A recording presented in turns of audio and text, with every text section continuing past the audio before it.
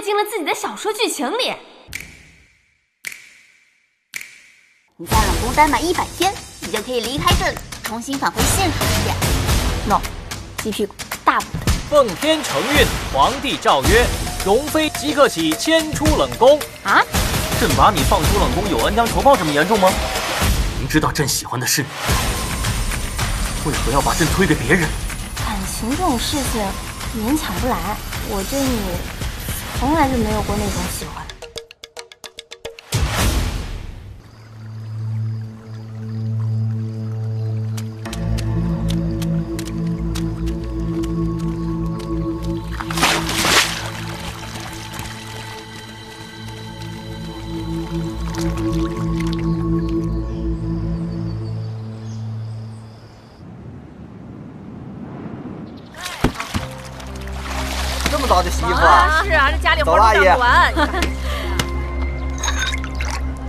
哎，馄饨了，热乎乎的馄饨，馄饨了，来客官来碗馄饨呐，馄饨了。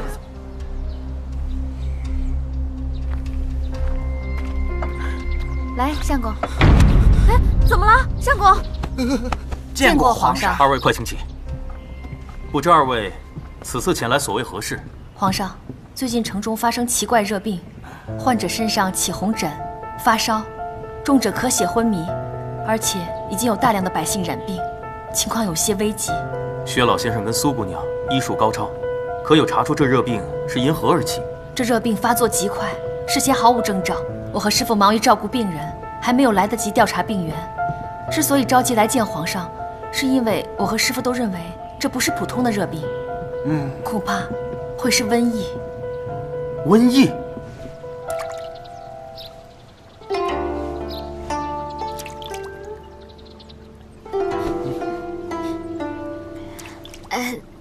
娘娘，我看咱们要不去搓会儿麻将？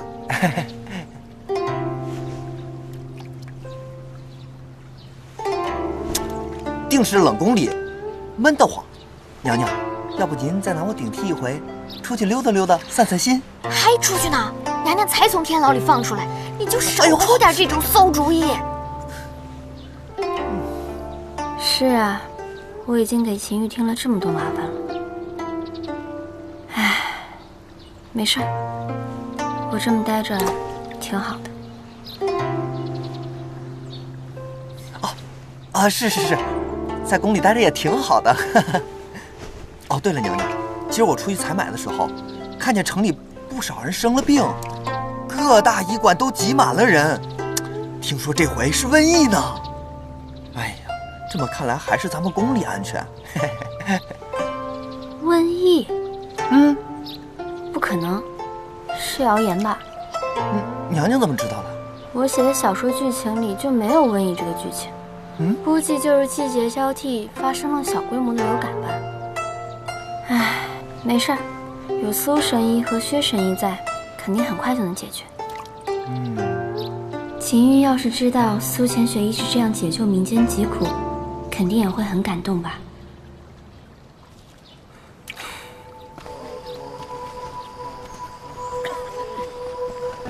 想不到，这热病来得如此凶猛。更糟糕的是。这病情还在城内不断的传播，不只是我们这里，各大医馆都收满了病人，快要顾不过来了。赵小五，属下在，传旨金兆尹派医官和药物前来救治，不得有误。是。李志东，在，传旨太医院派太医前来救治，不得耽误。遵旨。此次瘟疫之事，丞相大力相助，我们王子深为感激，愿与丞相结为盟友。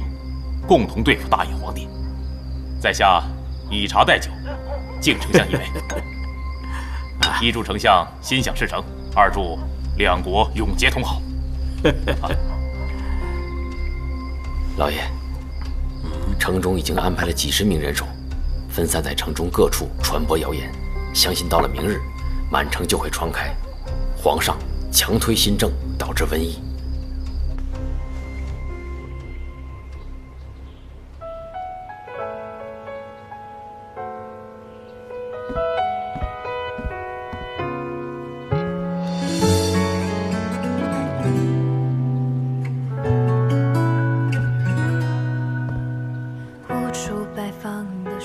皇上有心事。没有。是在想容妃娘娘吧？简单的问候。思绪这半块玉佩，浅雪在娘娘那儿也见到过另外一半。成全过我感受，倔强的是你言不由衷。苏姑娘，苏姑娘，外边有几个病人的病情恶化了。啊什么？我现在过去看看。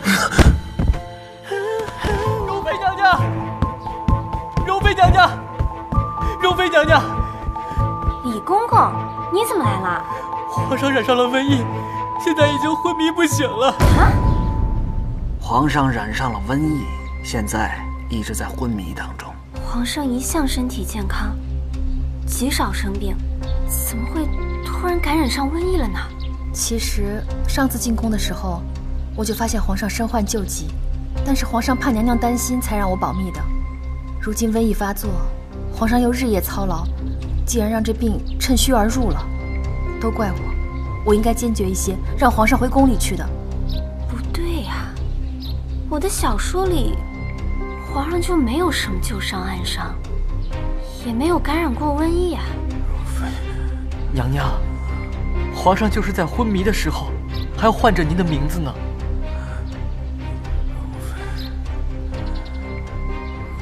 发烧、红疹、昏迷，这些症状我好像有印象。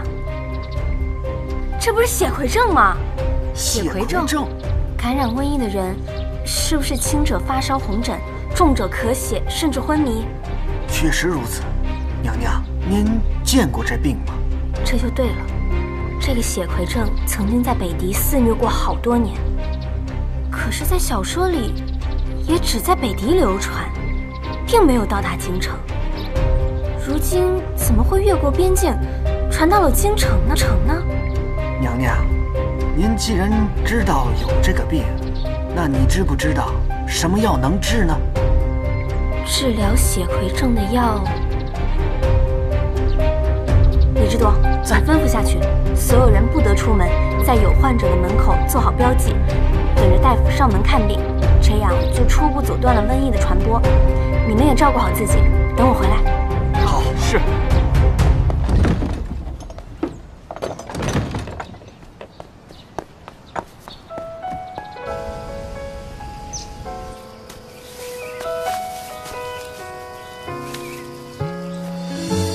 秦玉，你坚持住，我一定会找到解药来救你的。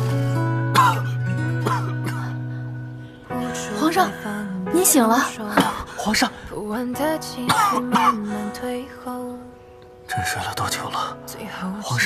您昏迷了一天一夜，一直高烧不起，真是吓死奴才了。好了，这朕不是没事了吗？对，皇上洪福七天，一定会没事的。容妃娘娘一定会给皇上找到解药的。容妃，她也来了吗？嗯，皇上在昏迷的时候，一直唤着娘娘的名字，小的就去冷宫，把娘娘请了过来。娘娘一来就发现这疫病是来自北狄的，说是叫什么血魁症。北狄？对呀、这天下的北狄人。朕确信，这不是天灾，而是人祸。啊，容妃呢？她在何处？容妃娘娘去给皇上找解药去了。备马。皇上，您还未痊愈呢。备马。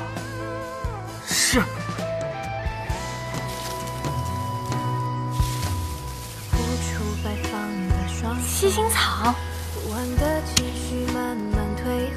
有了这个，瘟疫就有解决办法了。秦月，你再等等我，我马上回去。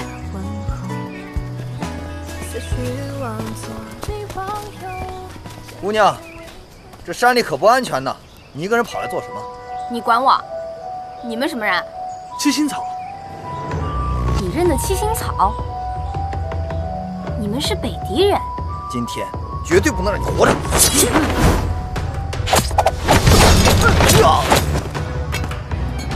去，给我检查一下他们。是是。秦玉，容妃，你没事吧？我没事，你怎么来了？我这不是担心你吗？你身体不好就不要乱跑了。你没事就好，你没事，没事。哎，皇上，秦月，皇上，秦月，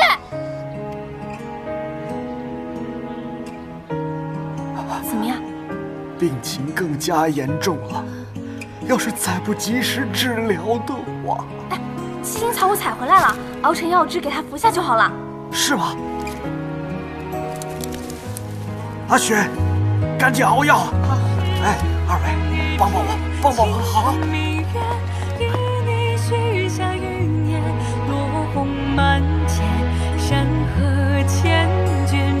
卷，驰骋了缠绵。怎奈夜色清浅，灯下无眠。往事恍若云烟，回眸之娘娘，这一碗是刚刚熬好的，您为皇上喝下就行。好，谢谢。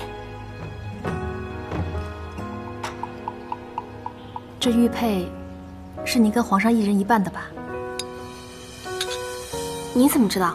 听皇上提起过，皇上还说了不少和娘娘的事儿。当时浅雪便觉得，娘娘一定和皇上一样，有着相同的心思。今日看到你为了皇上这般的不顾危险，便更加能够确认了。浅雪不是娘娘，不能体会娘娘的苦衷。但是，如果两个人彼此都有着相同的心意，那便是很难得的事情了。更应该好好珍惜。娘娘，您觉得呢？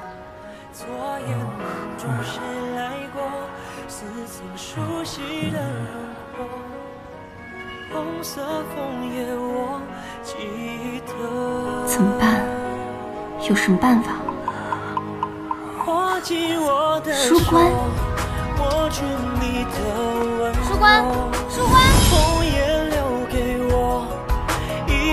哎，也没什么，我就是想问问，我这一直不回冷宫，多久会被抹杀？按照规则，想要满足不被抹杀的条件，最多每隔三个月就必须回冷宫一趟，并且要待满十二个小时。也就是说，每三个月就要回去打卡一次，一次待满一晚上，这样就不会被抹杀了吗？嗯，确实符合规则。三个月半天，半年一天，一年两天，那这么算下来，我能和秦玉在一起生活好几十年呢。你看起来好像很高兴。啊那当然了，这叫爱情，小屁孩不懂。哎呀，那我就放心了。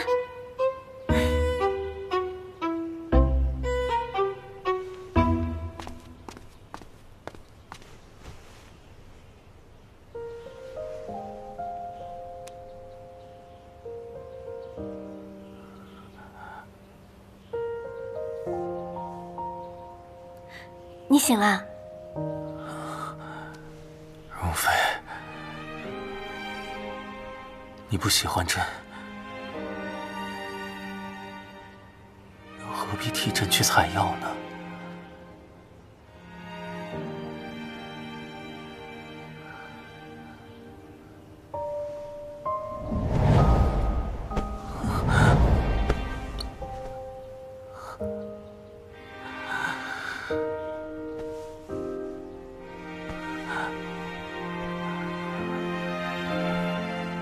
现在朕是不是可以认为你也喜欢朕？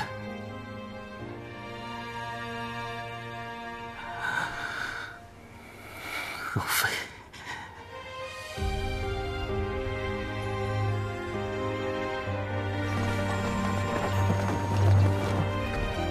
皇上娘娘，咱们是直接回寝宫吗？不，回冷宫。啊？哦，那个我东西不都在那，不得先拿回来。对对对，对对对对，是得拿去冷宫。是。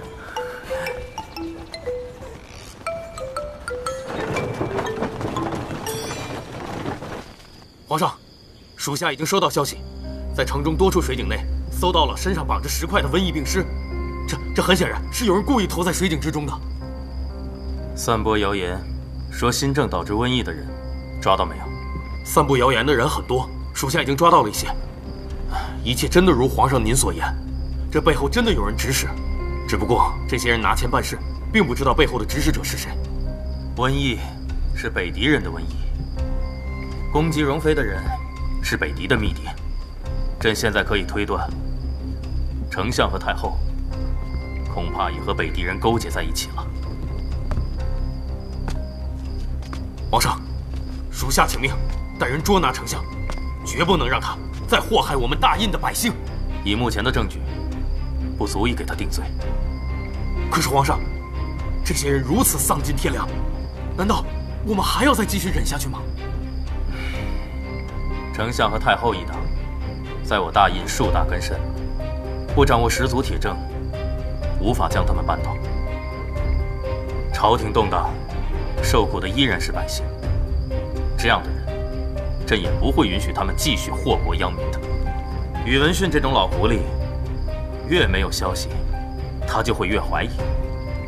只要他怀疑，他就会露出马脚。天天陪我一起吃早饭？对啊，想你。那我喂你吃一个喽。张嘴。啊。啊。好不好吃啊？那你也喂我吃一个吧？真的。快点。哎呀，讨厌啦！快点，我要吃了。你也尝尝。张嘴。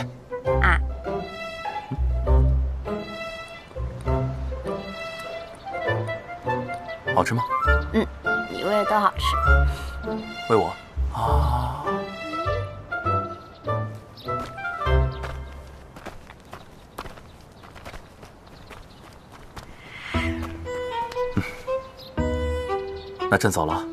嗯，那你路上小心。你先回去，朕看着你走。你先走，我想再看看你。你先。你先。你先嘛。你先嘛。你先走。你先。皇上，上个早朝而已，又不是生离死别。不用这么夸张吧？你懂个屁呀！我懂个屁！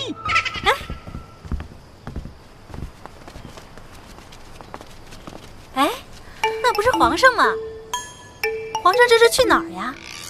好像，好像是朝容妃娘娘那儿去的。什么？怎么又是她呀？这女人有什么魔力呀？怎么回回都能把皇上迷得？神魂颠倒的，哎呀，不行了！哎，娘娘，我又闷了。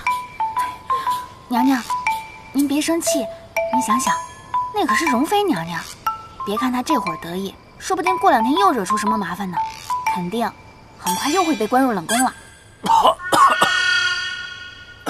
你又要进冷宫？哎呀，这次不一样，就一个晚上，我天一亮马上就回来。我大印历朝以来，这冷宫住的比自己家还亲的，估计就你自己了。哎呀，我这不是也住出感情了吗？冷宫里的小六子他们也好久没见了。嗯，真不行，你就当我去忆苦思甜了嘛。你都有朕了，你还需要忆苦思甜吗？哎呀，你对我最好了，我这次就住一天。吐吐。好吧，提前说好。不许住进去不出来！放心吧，这次绝对不会的。嘿，啊，好了，倒计时开始。你们怎么一点反应都没有啊？娘娘，小人拿不准，这回该是伤心呢，还是开心呢？那还用说嘛，当然是开心了。不过说好了，这次我就待一个晚上。啊！回灵是把这个看好了，时间一到立马走人，一秒都不能耽搁，遵命。行，该你呢，火锅搞起来！吃火锅去喽！你确定？那容妃又进去了？娘娘放心，奴婢先前亲眼瞧见，容妃娘娘带着她的侍女福灵进了冷宫大门，绝对没错。好啊，本宫就知道，皇上这般英明神武。怎会被她一个区区的容妃给迷住？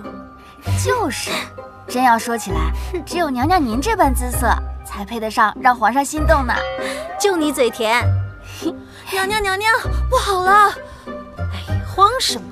有事儿说事儿。奴婢刚刚瞧见皇上带人也奔冷宫去了。什么？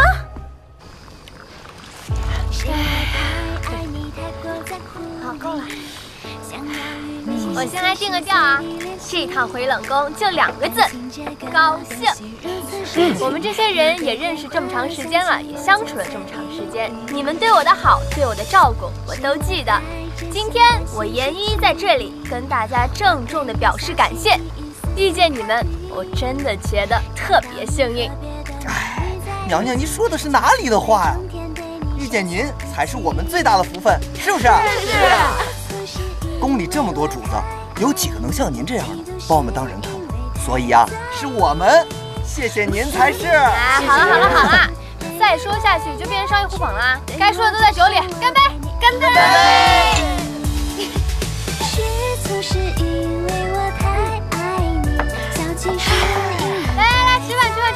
快吃快吃快吃！驾到！吃快吃快吃！皇上驾到！秦月，秦月，参见容妃娘娘，还愣着干嘛？赶紧的呀！你怎么来了？我不是说了吗？我明天就回去。朕一想到一晚上见不到你，朕受不了。反正在哪都是住，朕就想着陪你一起，让朕也见识一下这冷宫的魅力。其实你不用这么麻烦的。怎么能叫麻烦呢？跟你在一起不麻烦。算你会说话。那我奖励你跟我一块吃火锅。请。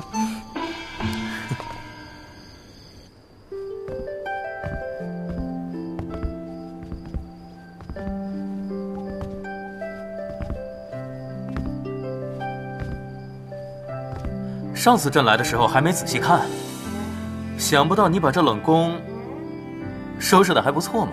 那当然了，我又不是来冷宫受罪的。要是真的又破又漏风，我还怎么过日子啊？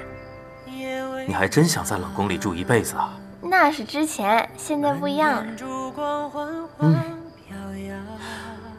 不过这冷宫啊，被你收拾的虽好，还差一样东西。差什么？差个男主人。萦绕我心头的姑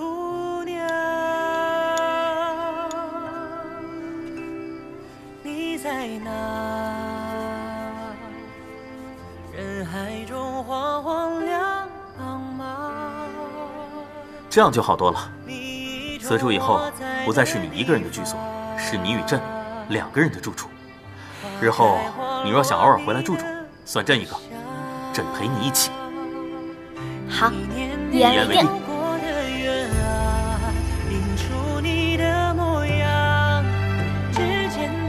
一点。差什么？这个。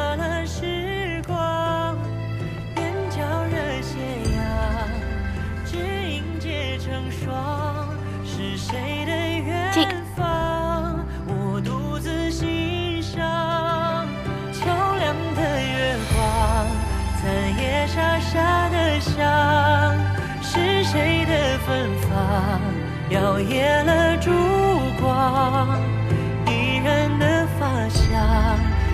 缠绕在我手上，冰霜融化。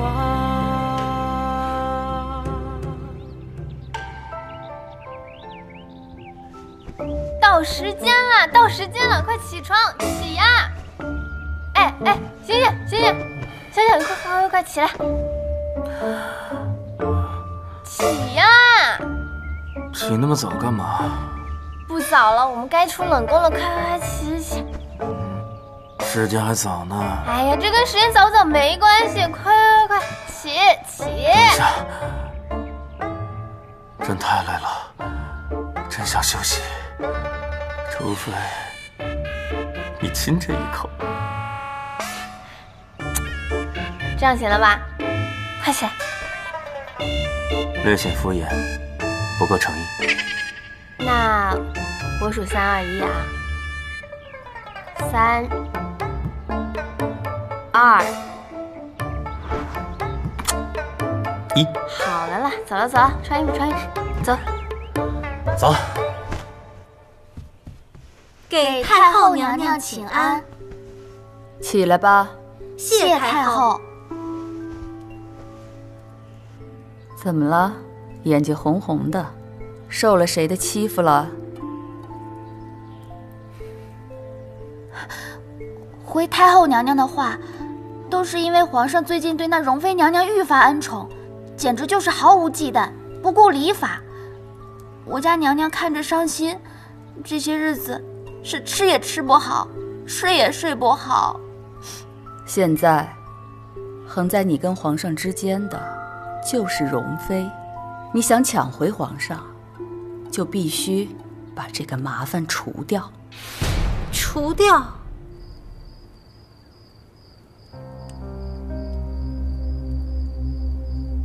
娘娘，奴婢觉得太后娘娘说的没错，只有解决了容妃娘娘这个麻烦，您才能重新和皇上在一起。唉，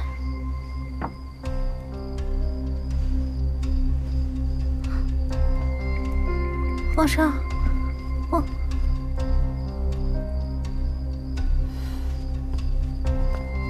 娘娘的早膳准备好了吗？福林姐姐放心，娘娘的饭正放在灶上热着呢。那我们先去给娘娘打洗脸水吧。是。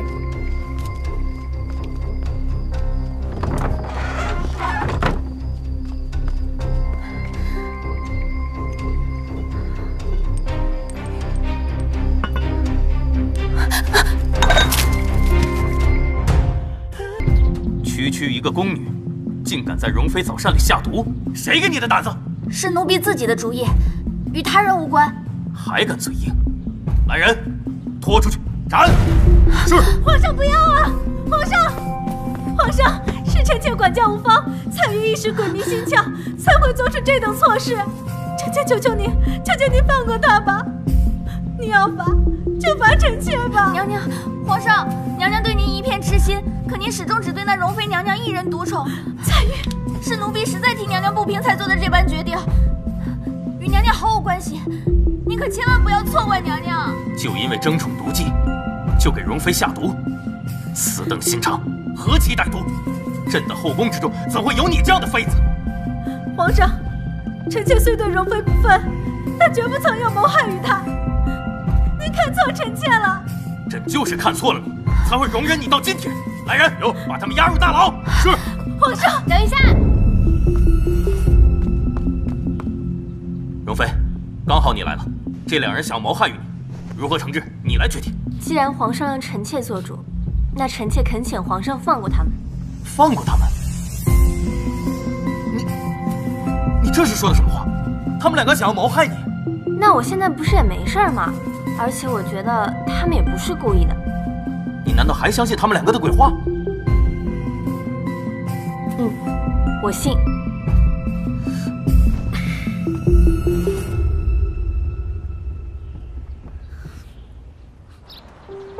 呀还没走呢，没没有了，我就是想跟你说，谢谢。哎，没事儿，之前我还打过你一顿呢，那就算扯平了。哎呀，不管你相不相信，我都要跟你说，我真的没有打算要下药害你。我知道你只是对皇上一片真心，而且我还知道。你只是有些蛮横傲气，但从来不会做这种事儿的。现在我有点明白了，皇上为什么会这么喜欢你。那之前的事情一笔勾销。嗯。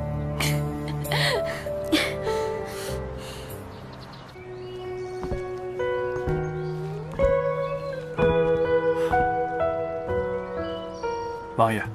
最近您天天出城踏青，难道就没找到点灵感吗？本王是喜欢诗词，可这诗词一道，努力固然重要，天分也必不可少。本王这点资质啊，与容妃娘娘相距甚远，想要得出一些满意的诗词啊，又岂是那般容易？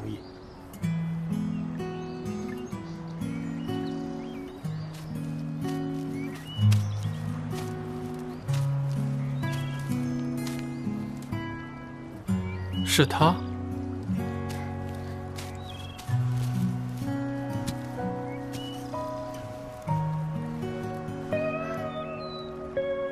浑然去雕饰，清水出芙蓉。王爷，好诗啊！诗好，哪及得上人美？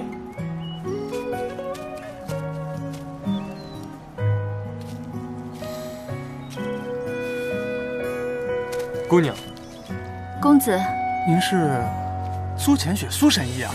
原来是苏姑娘。早就听闻京城内有位女神医，不仅免费听诊看病，还治好了这次的瘟疫，让我大印百姓免于病苦之中。在下仰慕已久，今日得见，实属荣幸。公子过奖了，治病救人本是医者天职，神医之名实在不敢当。对了，还没请教公子姓名？在下秦川。秦川，您是英王殿下？浅雪失礼了。无妨。苏姑娘妙手仁心，一心为我大印百姓祈福，实在令人敬佩。本王想在京城内啊开一所医师学馆，免去学费，为我大印培育更多医师人才。只不过一直找不到合适的教习人选，不知道苏姑娘可有兴趣啊？王爷有此善心，真是我大印医者和百姓之福呢。如果有能用得上我的地，如果有能用得上我的地方，浅雪绝无二话。如此甚好。这御花园逛来逛去都是这个样子，看都看腻了。公主多出来走走，有利于身体，总比您成天闷在宫里强吧？我想我的小川川，也不知道他现在在哪，还能不能再遇见？遇得到，遇不到；遇得到，遇不到；遇得到。公公主不到了。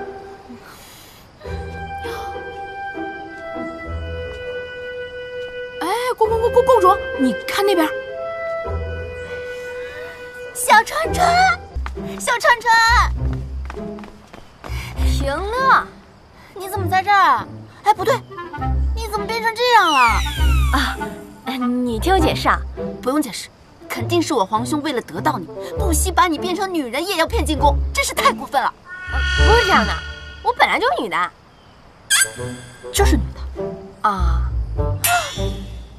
我皇兄竟然竟然不择手段啊！不是这样，我的意思是，我本来就是女的，不信你看。你 真是个女人啊！如假包换。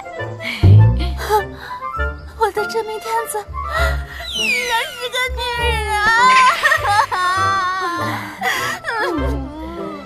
这下我真失恋了。公主，你也不用太难过。上次你救了我，我还没感谢你呢。要不我一会儿请你吃饭？啊快吃啊！别看了，有什么想问的，就问吧。皇兄，你和小川川真是夫妻？朕是皇帝，她是朕亲口册封的容妃，有何不妥？什么小川川，叫嫂子。哦，等等，嫂子，你有没有一个跟你长得一模一样的亲兄弟？真没有，要是有的话，我肯定介绍给你啊。好吧。哎呀，你也别灰心，我到时候和你皇兄帮你好好物色一个，肯定让你早日脱单啊！吃个鸡腿。嗯。朕也要吃。好，来，张嘴，啊。啊。好吃吗？嗯，你也吃一口。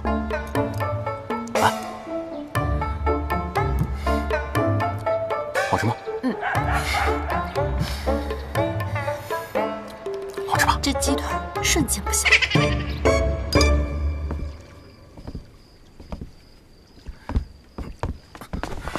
哎哎，你你没事吧？哪里不舒服啊？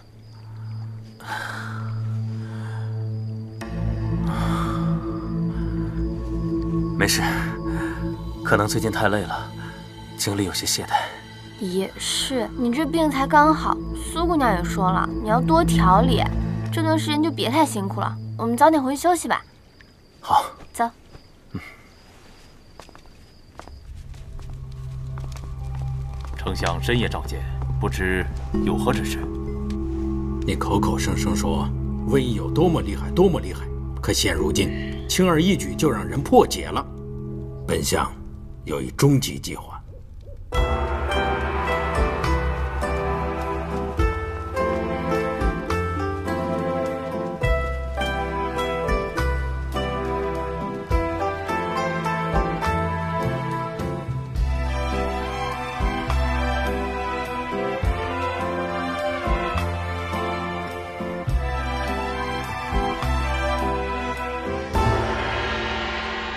忙呢？这还没到吃饭的时候，你怎么就来了？我这不是关心你身体吗？特意给你拿了药，来，趁热喝了。好。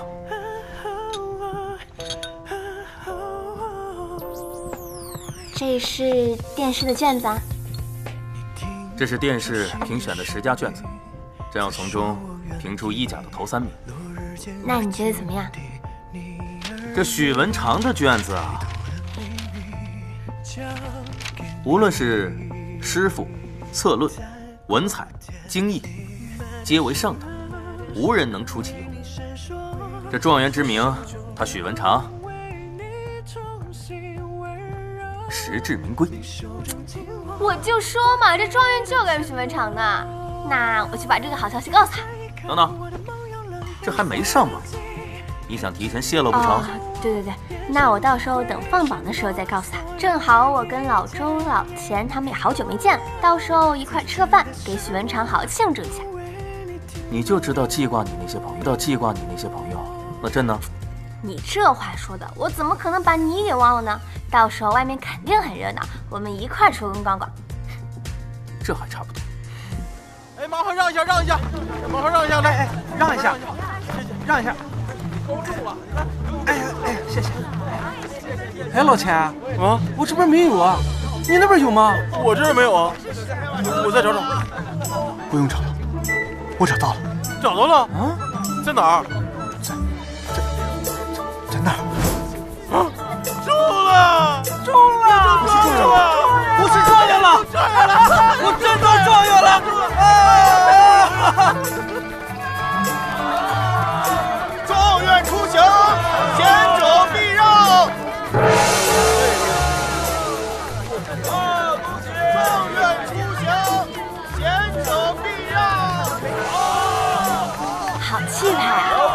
那当然。我们再去看看吧。好。走。小小姑娘，小小姑娘，好消息啊！那许文长许公子高中状元了。当真？比金子都真，皇榜头名，仪仗游街，那阵势可不得了。你和许公子感情深厚，这会儿还待在屋里做什么？赶紧打扮打扮去见他呀！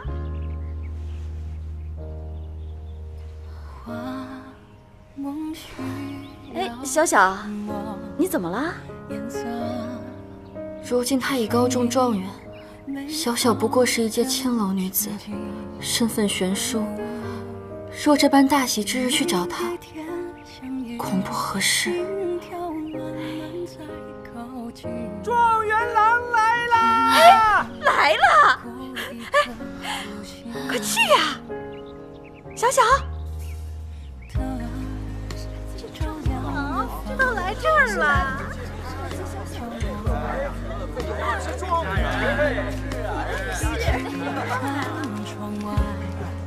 恭喜许公子高中状元。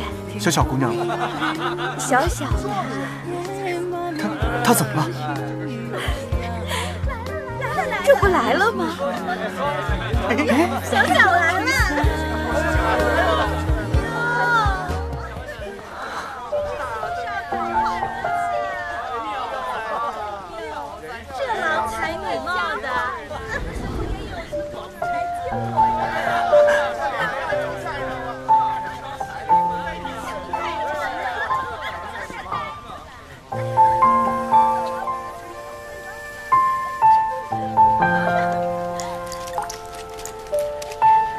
已经听闻公子高中，在此向公子贺喜了。不必多礼。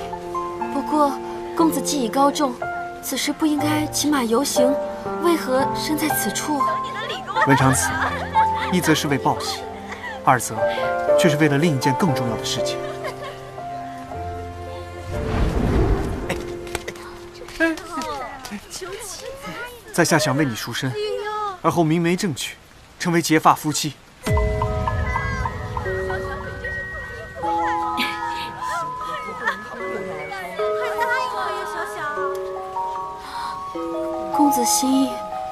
小如何不知？不过公子如今已是状元，小小不过是一介青楼女子，身份有别，如此强行相结，公子日后仕途必将受其影响。小小又如何忍心成为公子拖累？考取功名，这是为了对得起一身所学。倘若如此，就要错过丁姑娘的话，却对不起文长自己的心意。更何况，只要是两个人真心相爱，哪怕日后真的有艰难挑战，也可携手相迎，共同面对。文长对此毫无所惧，只看丁姑娘是否愿意与在下并肩。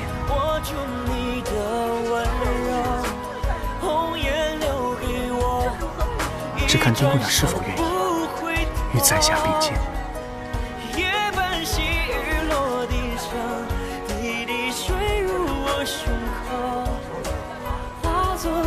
答答答答答应他，答应他！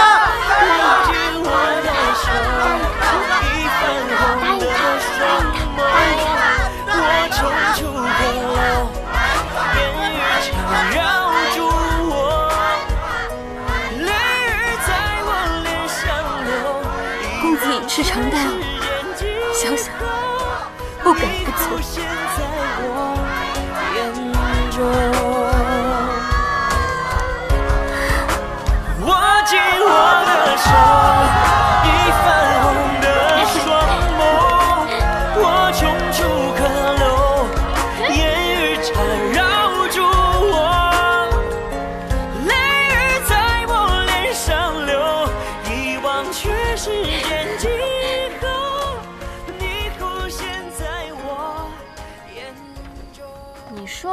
老许这家伙又是状元，又这么有担当，性格还好。丁姑娘要是嫁给他，俩人肯定能幸福一辈子。那有什么？朕还是皇帝呢，你跟朕在一块儿，那才叫幸福。这世上无论发生什么，朕都不会允许你跟朕分开。好，好，好，你最厉害啦！哎，老板，哎，给我来两根。好嘞，拿好，谢谢。哎，嗯。嗯，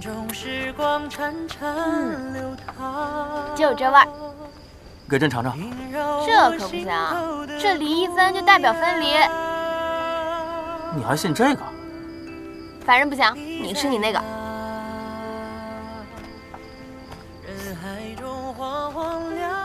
好吃吗？好吃。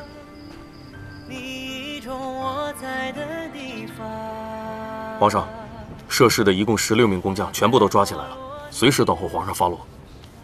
也不能全怪他们，意外而已。杖责二十，罚俸半年吧。是。呃，皇上，您这伤，要不还是请太医来看看吧。一点皮外伤，不碍事，朕没那么娇气。哦。秦玉。哎，容妃娘娘，你怎么来了？你怎么受伤了？这御书房啊，久未修缮，有些老旧。朕进屋的时候被梁上的木条砸了一下，不碍事。怎么这么不小心啊？疼不疼啊？不疼。哦，我那儿有活血化瘀的药，我去给你拿。哎哎，皇上，这容妃娘娘对您可真上心啊！那当然了。皇上，今晚宣哪位娘娘侍寝呀？这有容妃一个就够了。翻什么牌子？拿去吧。皇上，您和容妃娘娘感情这么深厚，为何迟迟不肯寻她进宫侍寝呢？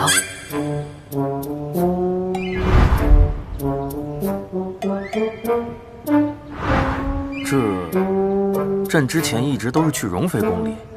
也没特意提过此事。您说您之前在后宫里没有中意的也就罢了，可是现在您和容妃娘娘情投意合，这事儿也应该提上日程了吧？要不小的这起居注本就没法继续往下写了。这朕也并非是不想，只是此事如何向容妃提起啊？她如果觉得朕过于着急，可怎么办？皇上，这哪还用说什么呀？您您和容妃娘娘本就是夫妻呀，那那行的夫妻之事，不是天经地义的吗？老赵说的真对，对吧？皇上，您就应该当机立断，不要再犹豫了。对对。好。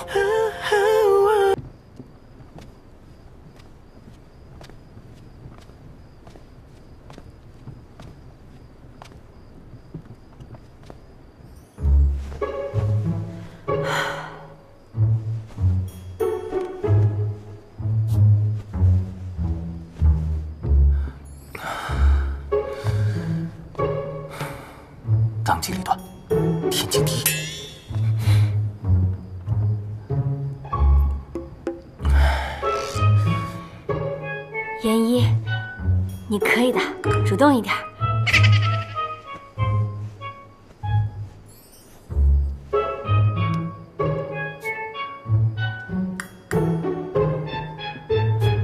当机立断。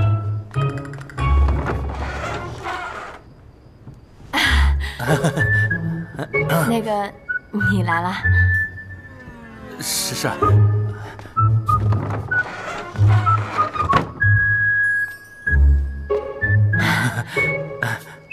你的伤还好吧？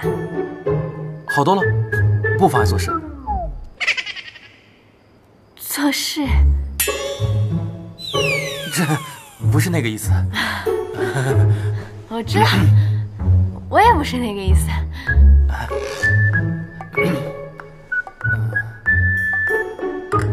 天天不早了，我们歇息吧。啊，好。我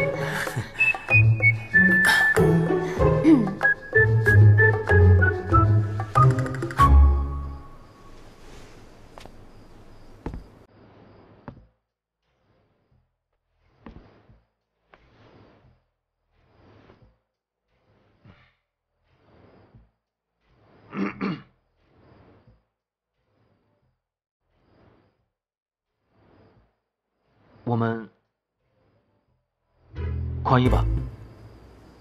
啊？宽衣。哦。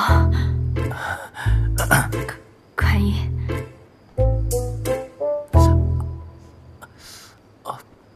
你怎么啦？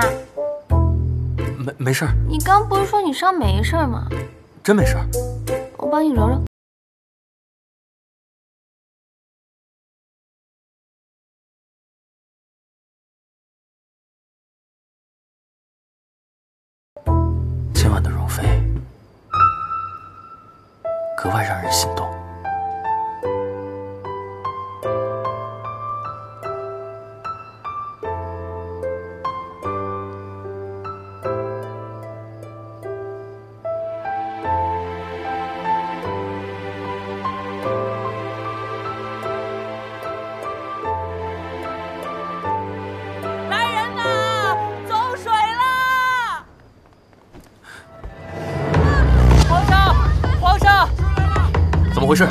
皇上，宫里走水了，老赵已经找人去扑救了。皇上，您和娘娘还是先移驾吧。照顾好容妃，朕亲自去看看。是，皇上小心呀！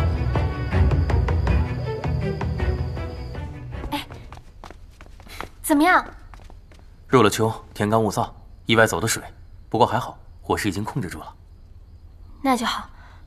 不过你最近怎么那么倒霉啊？又是寝宫着火，又是被木头砸，前两天走路还差点摔跤。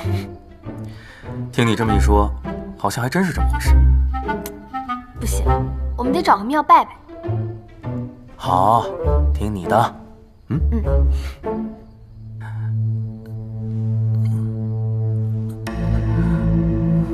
怎么了？哎，新月。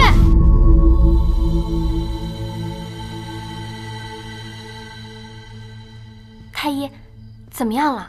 娘娘放心，皇上只是最近操劳过度，再让皇上好好休息，也就没有大碍了。那就好，多谢太医，辛苦了。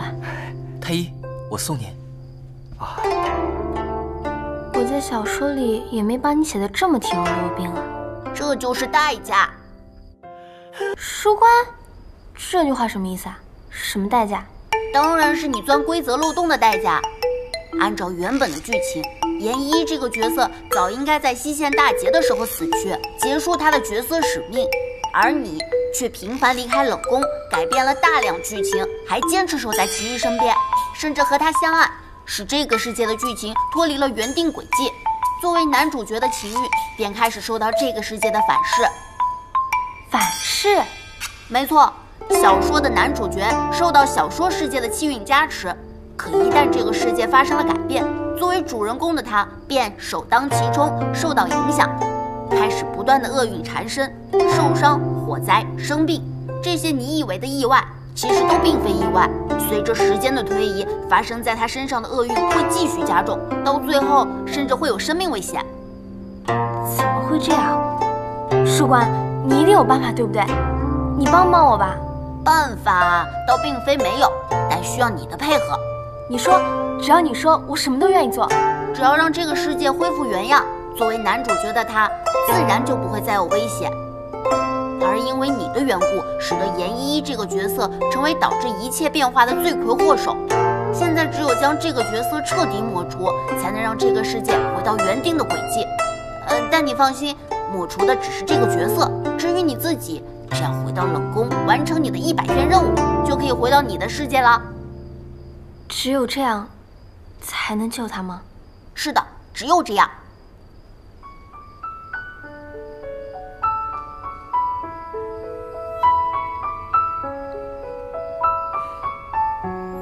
好，我答应你。不过，你能不能再给我一天？就一天。你要知道，严依依这个角色被抹除之后，所有人，包括祁煜在内，都不会再有关于你的记忆。多留一天，并没有什么用处。我知道，我只是想跟他好好做一个告别。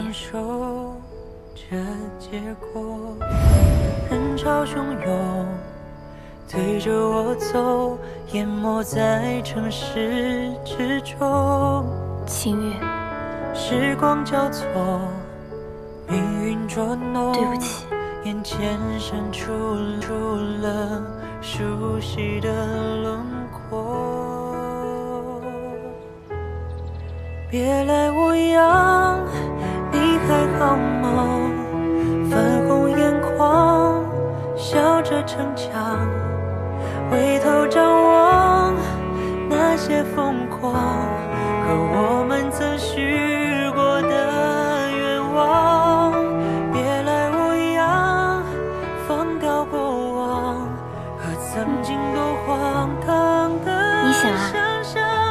感觉怎么样？好多了。你就这么照顾了朕一夜？是啊，别人照顾你我不放心，还是我自己来比较好。这已经不是你第一次照顾朕了，所以你更要好好照顾自己的身体。再有下次，我可要收费哦。还要收费？能不能以身相许啊？行，那一斤算你十块钱吧。这么贵？皇上，娘娘，早膳准备好了。走吧。嗯，走吧。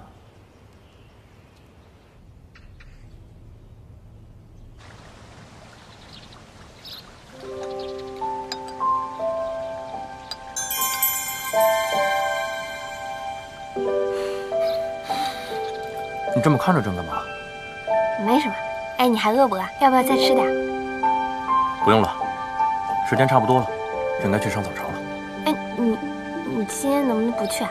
就这一天，陪陪我，可以吗？当然可以啊。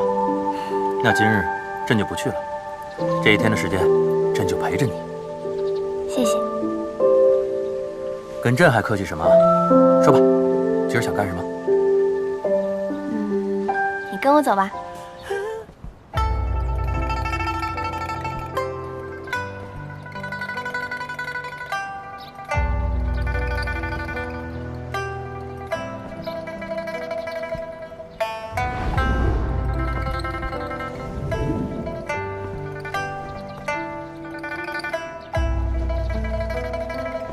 好看吗？好看。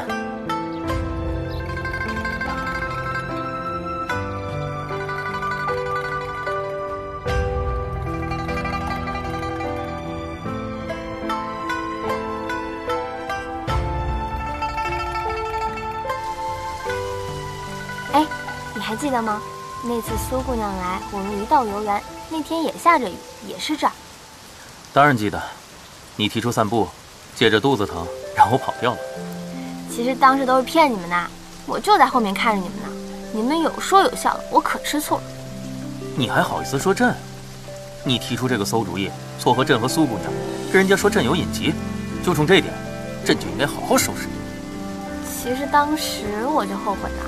还有，你看到计划书的时候问我对你什么心意，我说不喜欢你也是骗你的，只是我当时不知道该怎么面对这段感情，害你那么难过，对不起啊。好了，都过去了，还说这些干嘛？我们现在好好在一起不就行了？嗯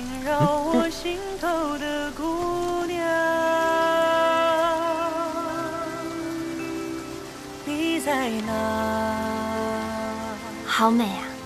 要是时间能永远停在这一刻就好了。你今天为什么这么多感慨啊？嗯，大概是有感而发吧。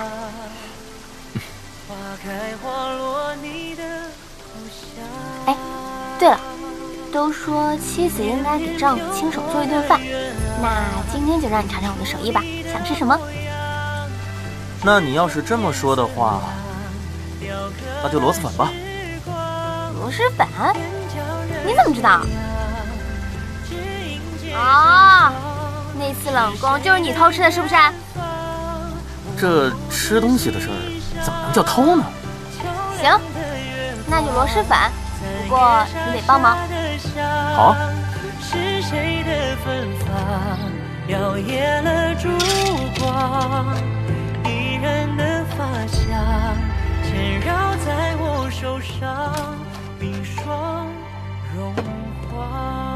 你要不要教教我？你来。哼，你就切跟这个差不多，再切，这样对吗？再稍微细一点，慢点，小心手啊。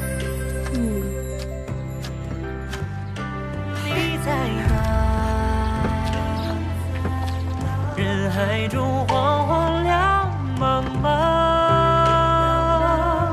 我意中有你的地方。花谢花开我的故乡。哇，好香啊！怎么样？想吃。给你盛一碗。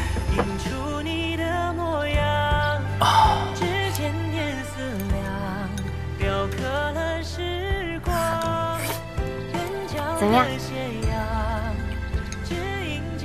这螺蛳粉啊，就是闻起来臭，但是吃起来让人欲罢不能啊，就像你一样。你什么意思啊？说我臭啊？不是，你是让人欲罢不能。算你会说话，那奖励你多吃点。好，你陪我。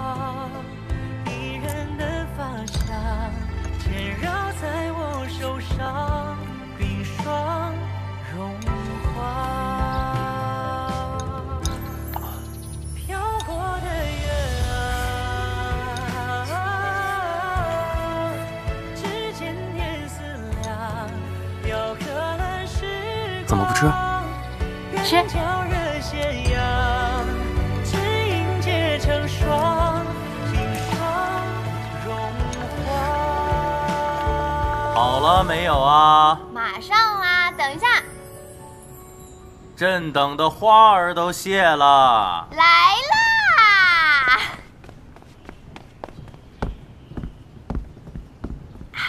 好了，可以摘下来啦。这什么东西啊？你打开看看不就知道啦？这是什么？礼物啊！礼物？我上次不是打碎你一个粉彩百露瓶嘛，我就想补偿你，然后呢，我就去了酱作坊，亲自给你做了一个。心跳慢慢在靠近，平静夜空划过一颗流星。这瓶子长得倒是别致。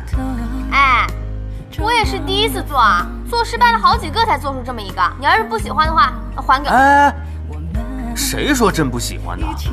你亲手做的礼物，一万个粉彩百露瓶都比不上。从今以后，她就是朕的最爱。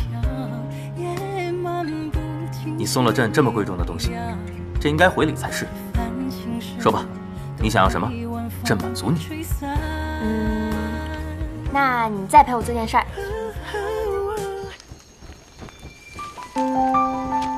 上次不是才放过吗？你怎么又突然想到做这个了？那不一样，我还想跟你放一次。你拿好啊。好。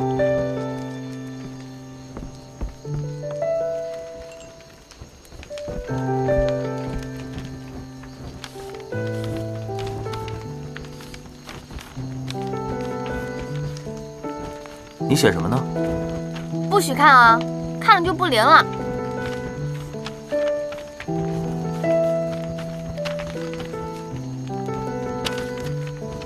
好了吗？好了，等一下。好了，准备好了吗？好。三、二、一，一，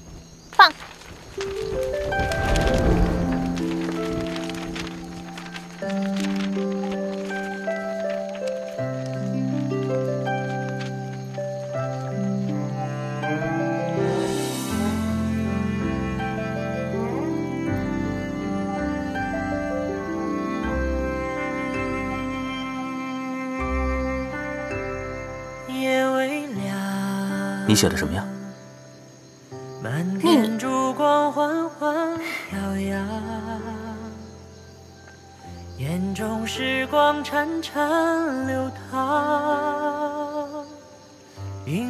你还记得这儿吗？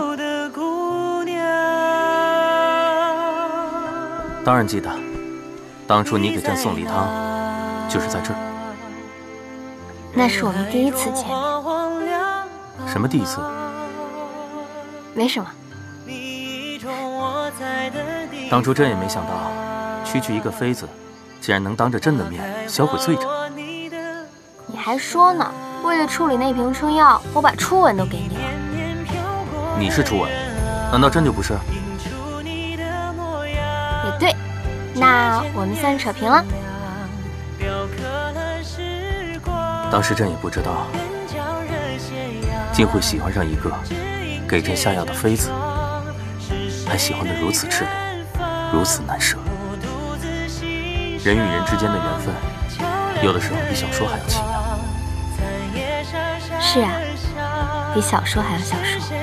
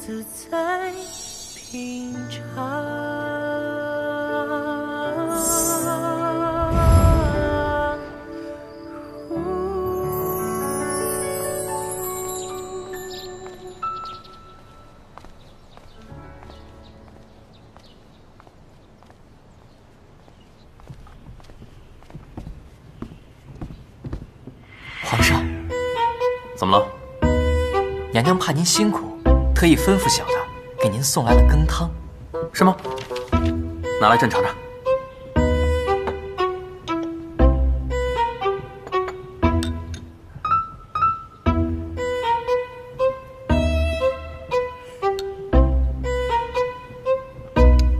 他这手艺，真是百喝不厌。皇上喝的可能不是娘娘的手艺吧，怕是娘娘的心意。你最近又开始多话了。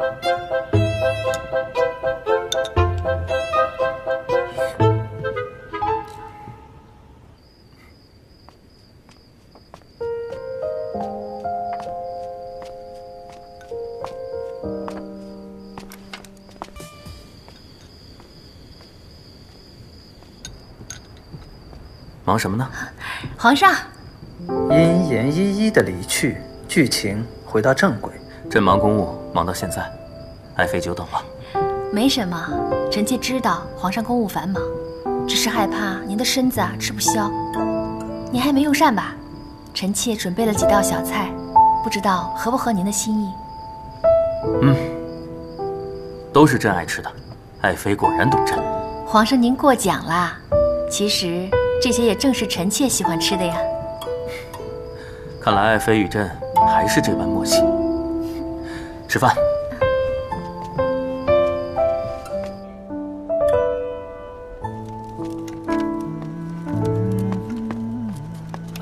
六公公，歇着呢。嗯。开饭啦！开饭啦！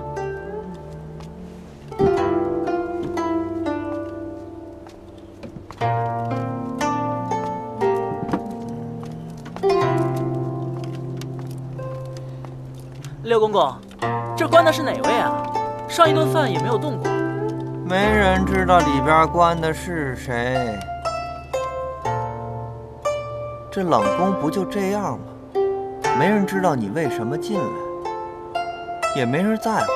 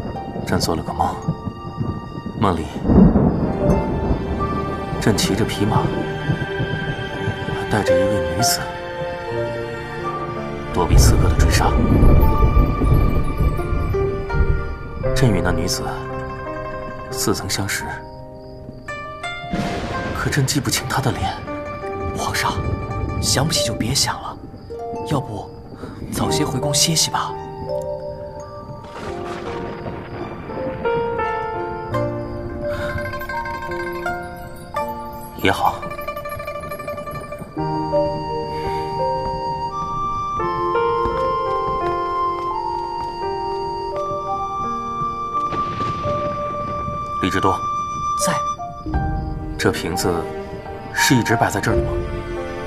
皇上，这不是您最爱的花瓶吗？之前还是您亲手放在这儿的，还让小的好好看护。皇上，您这是怎么了？可朕怎么感觉……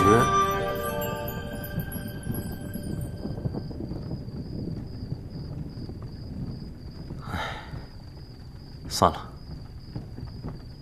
没事了。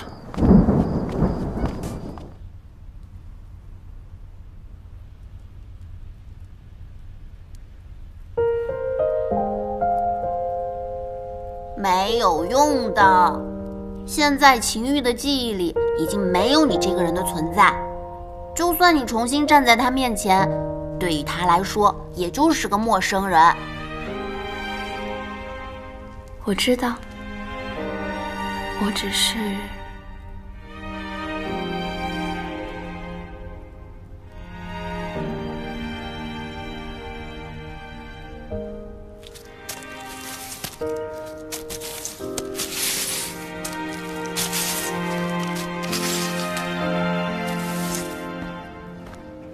今日天气不错，倒是挺适合游园的。皇上说的是，这会儿娘娘应该已经在御花园里面了。我们也快些过去吧，免得让他等候太久了。是。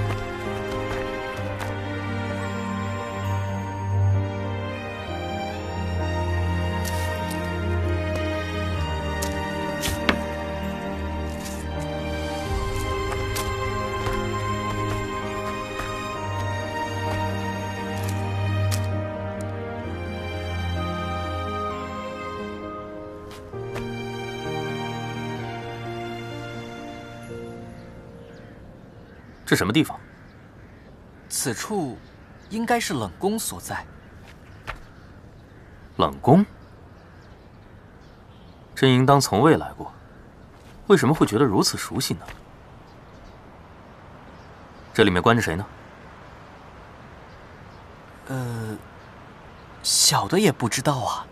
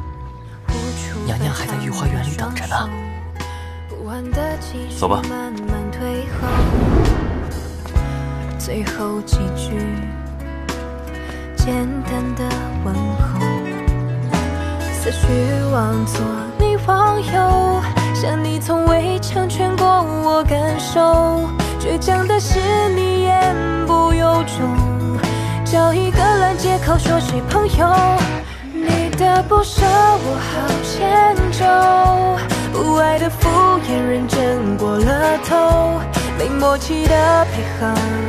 迷失在路口，你好温柔，像你从未放。皇上，皇上，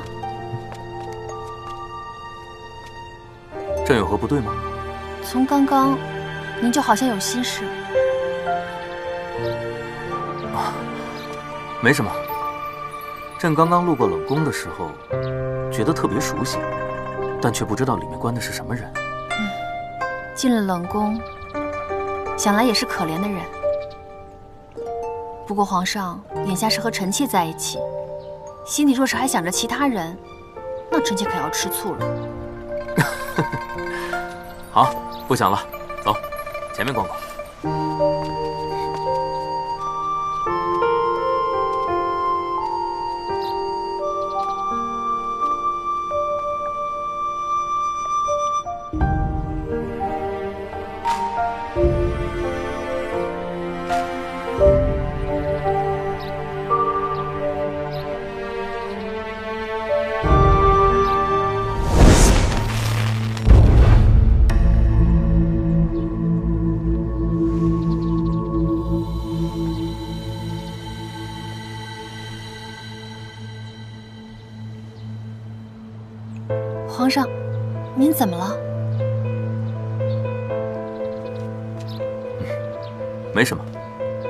没想到有奏折没批，我们先回去吧。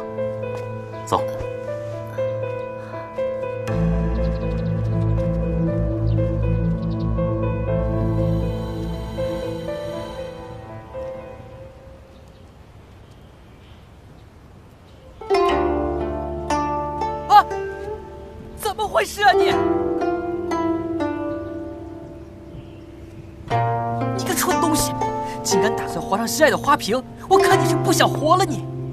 怎么了？皇上，他打碎了您心爱的花瓶，实在是该死！来人啊！算了，一个花瓶而已，碎了就碎了，下次注意就好了。啊，是，赶紧收下去。不用了，朕自己来。下去吧。是，还不赶紧谢谢皇上！谢谢皇上，谢谢皇上！赶紧滚吧你！皇上，你也下去吧。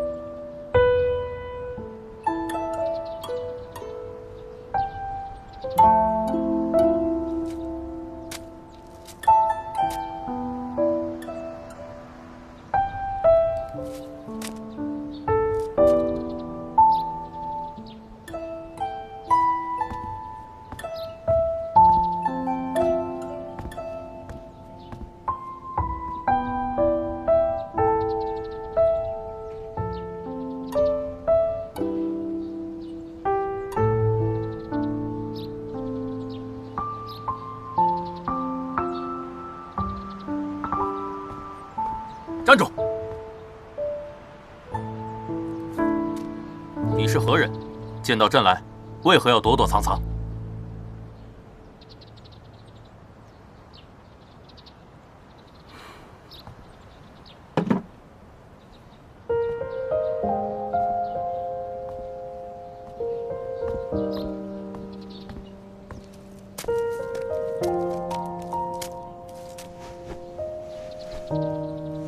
臣妾乃是前朝罪妃，见过皇上。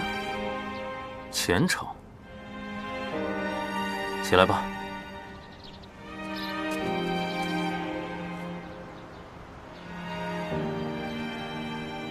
如此年轻，怎会是前朝之人？冷宫清幽，与世隔绝，清心寡淡过日子，不与外界干扰。也许。时间也比外面慢一些。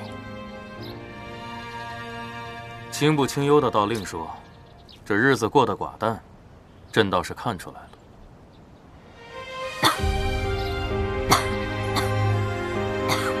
你生病了？朕叫太医给你看。皇上不必，臣妾乃是罪妃，受不起这般恩遇。另外。冷宫乃是阴气汇聚之所，皇上不宜久留，还是请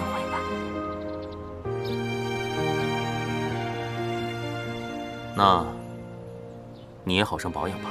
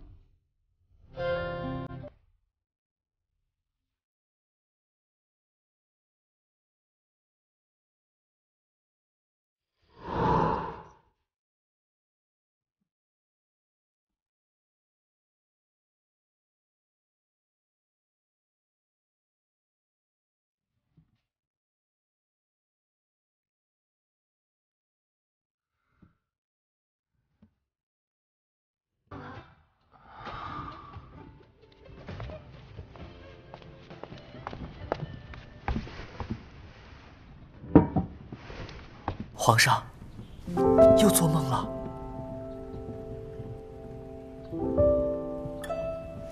还是那位女子，越是最近，梦到的越是频繁。可朕就是看不清她的脸。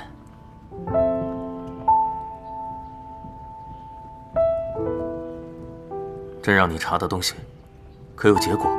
回皇上的话，小的翻遍了所有宫内的册子。都没有找到那位前朝罪妃的信息，兴许是年代久远，已经丢失了。不过皇上，您为什么对这冷宫的妃子突然感了兴趣？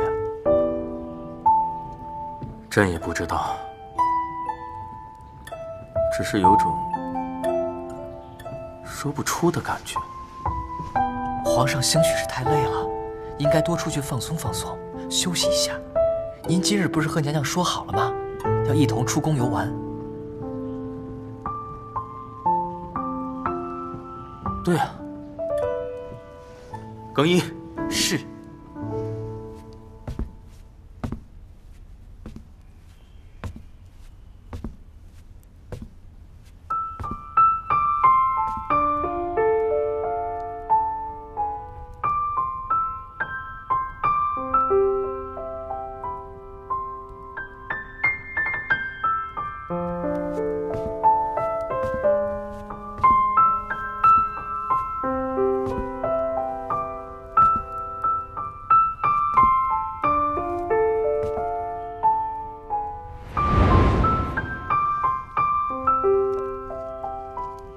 样就好多了。此处以后不再是你一个人的居所，是你与朕两个人的住处。好，一言为定。一言为定。嗯，还差一点。差什么？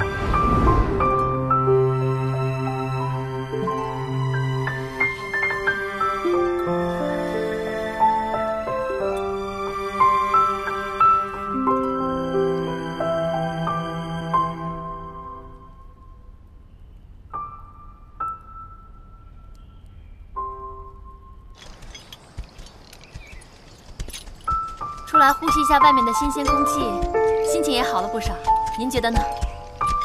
对，你说的是。记得臣妾刚进宫的时候啊，住的不习惯，心情烦闷，也是您体贴臣妾，专门带我出来骑马散心。当时的情景，臣妾到现在都还记得呢。是吗？那今日换朕，好好放松放松。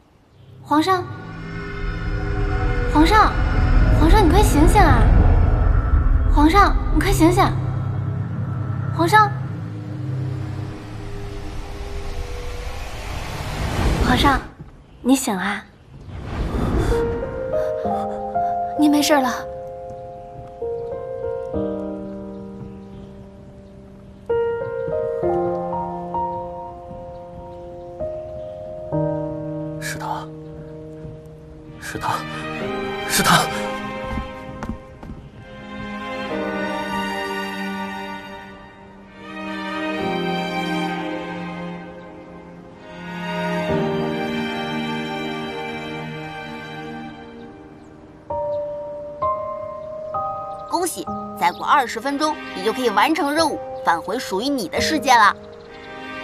是啊，可是我为什么却一点也高兴不起来？曙光，你告诉我，等我离开之后，秦玉会一直开心幸福的生活下去的，对吗？当然，等你离开后，这个世界不会再有任何的意外和变数。作为男主角的秦玉，也将按照小说剧情走向，成为一代明君，和小说剧情的女主角幸福美满的生活在一起。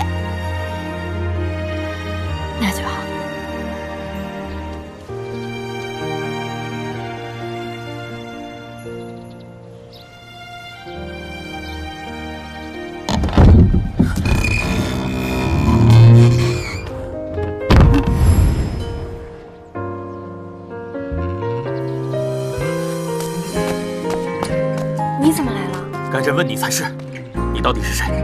为何功名册内没有你的名字？为何朕的记忆总有你的身影？我不知道。为何朕会凭空出现那些记忆？为何那些记忆那么熟悉？我真不知道，你不要问我。还在撒谎！说，你到底是谁？我真不知道。你说。与你雨天相遇，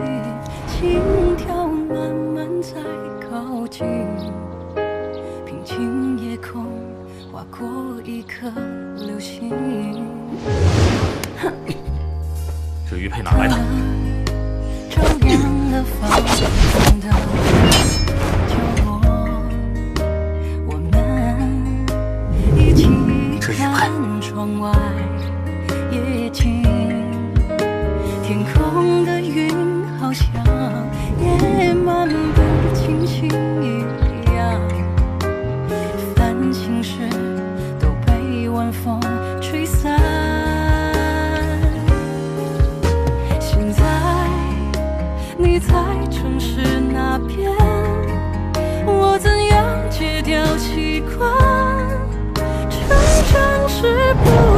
说。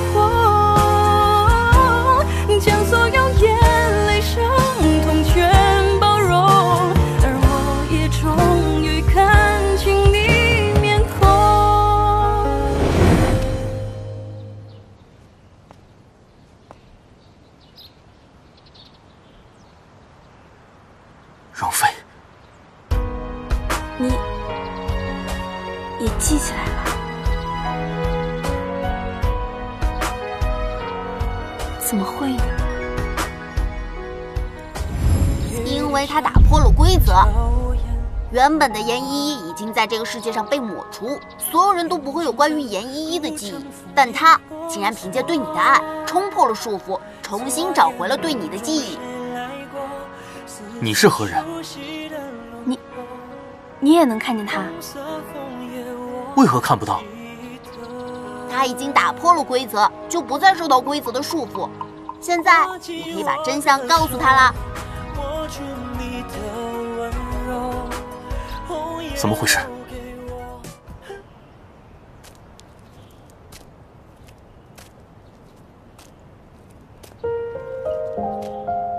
所以，朕不过是你笔下的一个人物。这个世界是你编造出来的，而你也并非容妃，而是来自另外一个世界。是，所以我之前一直想方设法想要回冷宫，只有我在冷宫待满一百天，才能完成任务，回到原本的世界。对不起，瞒了你这么久。怪不得，怪不得你总有出奇的举动，怪不得这世间那么多女子，朕却只为你一人心动。你不生我气吗？生气自然有一点，但朕能感觉到，你对朕的心意绝非作假，足够了。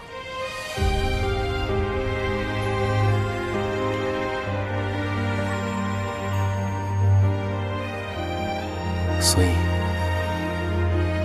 不要走，留下来，跟朕在一起，好吗？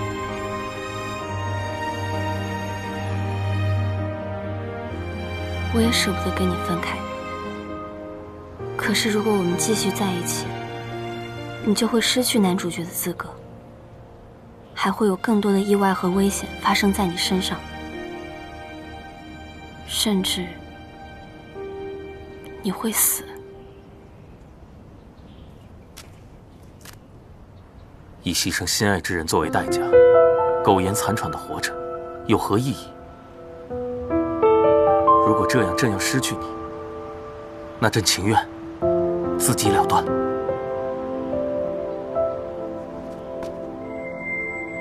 你不要这样逼我。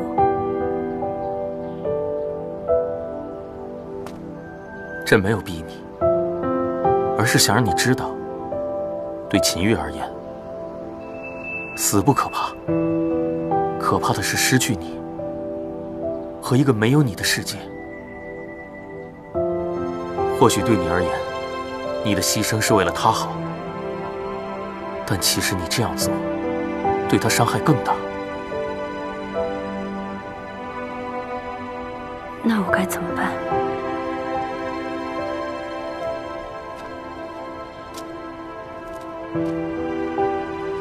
你记得许文长和丁香香吗？如果这两个人可以为了爱情奋不顾身的在一起，那秦月和严依依为什么不可以？你是这个世界的作者，朕是你笔下战无不胜的男主角。只要我们在一起，让我们一起努力，没什么不可以克服。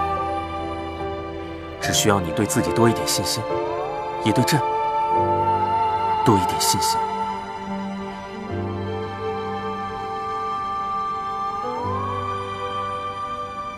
最后五分钟，我有必要提醒你，因为这个世界的规则已经被打破，所以从现在起，冷宫任务不再具备强制性，你可以自己选择是否完成，不用再担心被抹杀的惩罚。不过从今往后，这个世界会因此发生彻底的变化，不再遵循原先的剧情轨迹，未来将会发生更多的变数，所以是走是留，你要自己考虑清楚。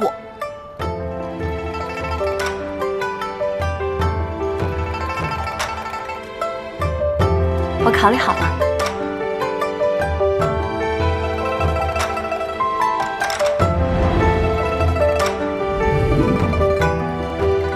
我要和我的男主角在一起。你的男主角不会让你失望的。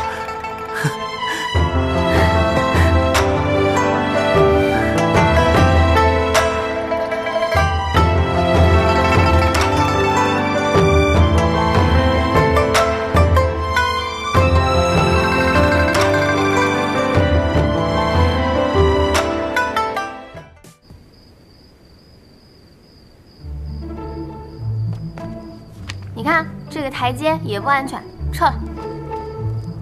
还有这个柜子，你看上面这些瓶瓶罐罐掉下来砸着你怎么办？再给你砸傻了。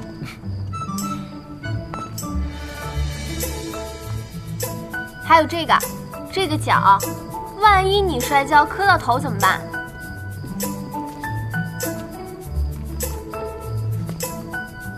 哦，还有这个房梁，万一再掉下来砸着你怎么办？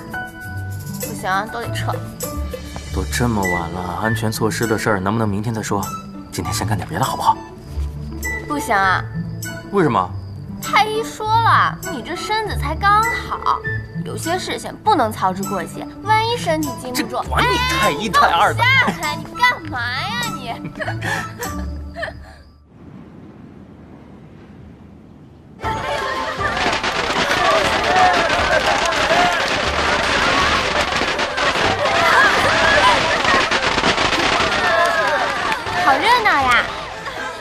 想不到他们俩还真的联手把这医师学堂办起来了。嗯，我小说的男二居然和女主在一起，这是什么神仙剧情啊？不是这样的，你才是真的女主。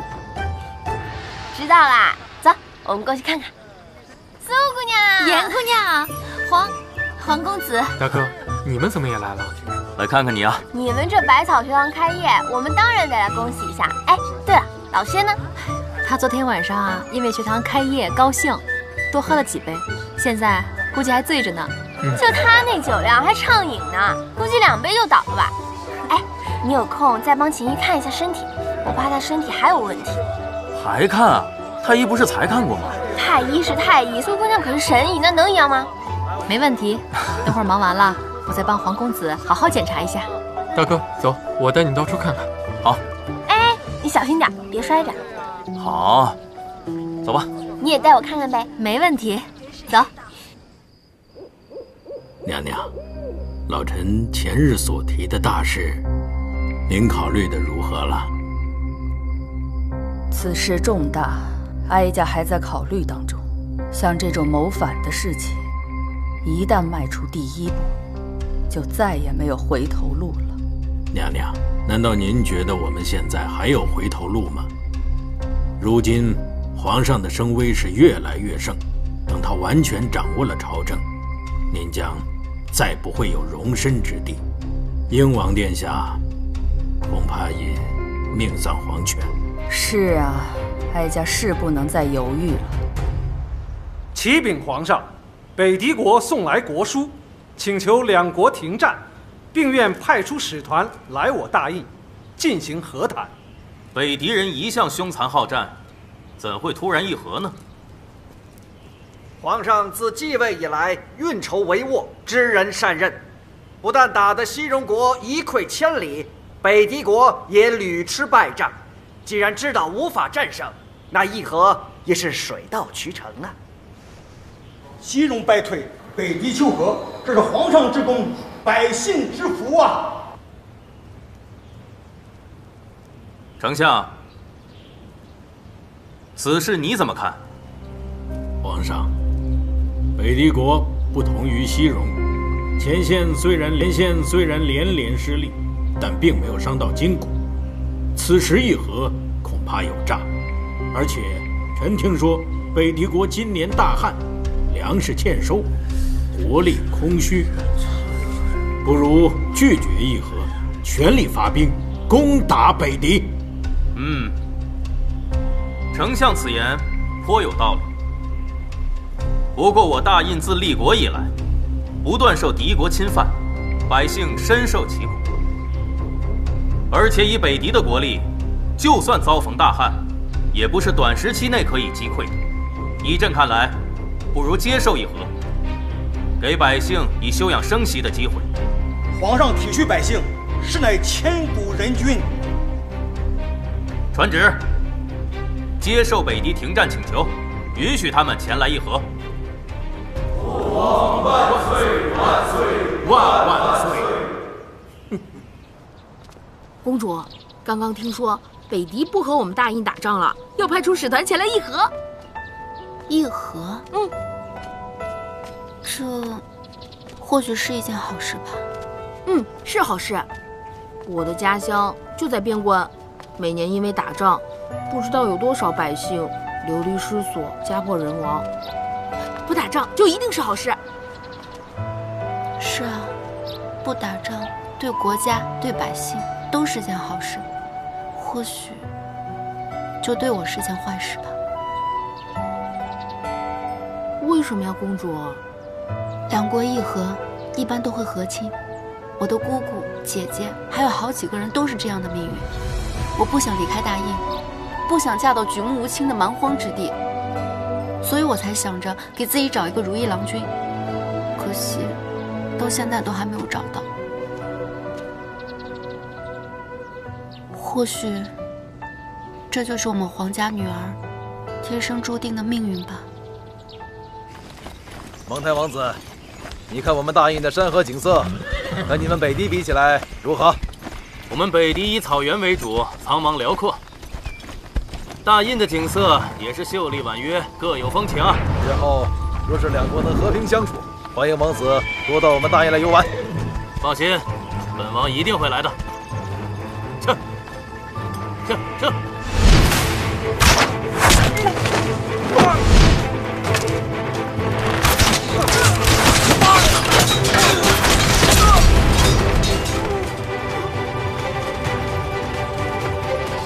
王子殿下，赶紧处理好尸体，换好衣服，准备出发。是。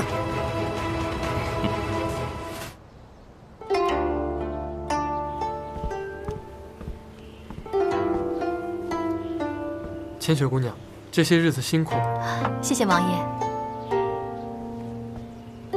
对了，本王最近打算进宫一趟，去见一见母后，告诉母后，本王现在真正找到了人生的方向。王爷要进宫去吗？千雪也想同行。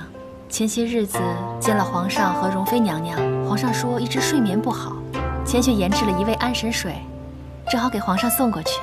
那自然是好的。千雪姑娘，你先在此处稍作休息，等我给母后请完安，再陪你去见皇兄。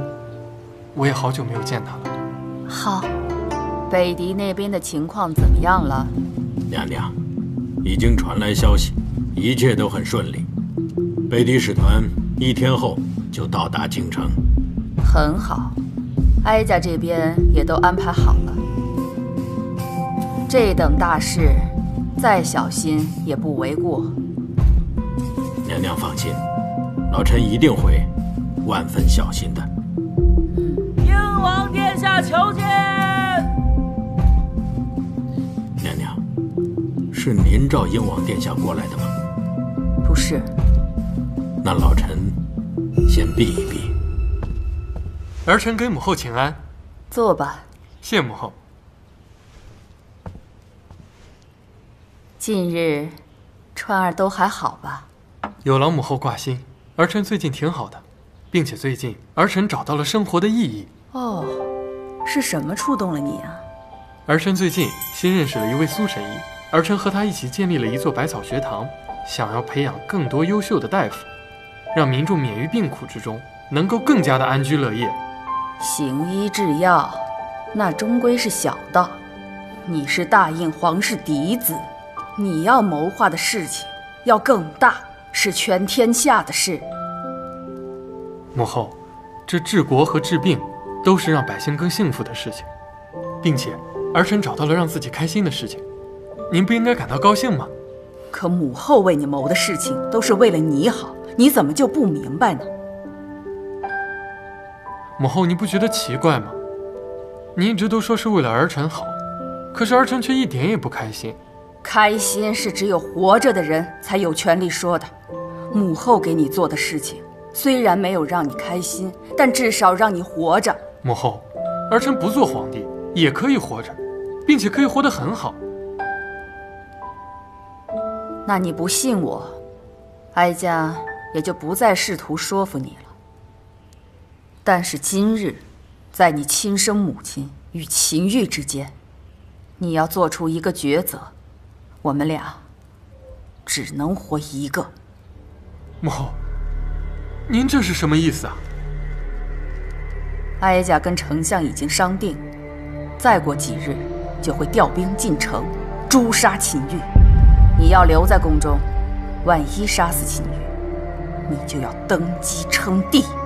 什么？母后，你们这是要谋反？哀家只是要拿回属于自己的东西。我们秦家的天下，外人不来反我们，我们却自己反自己。母后，您百年之后有何颜面去见父王？那你父王传位给秦玉的时候，他可曾想过我们母子啊？母后，不用说了，箭在弦上，不得不发。今日我就给你两个选择，要么。你登基称帝，要么你就杀了我。母后，您是儿臣的亲生母亲，儿臣断然不能赏您毫分。只是儿臣想劝你，不要一错再错，回头是岸。事到如今，已经没有回头路。既然你不舍得杀母后，那你就站到母后这一边来。母后，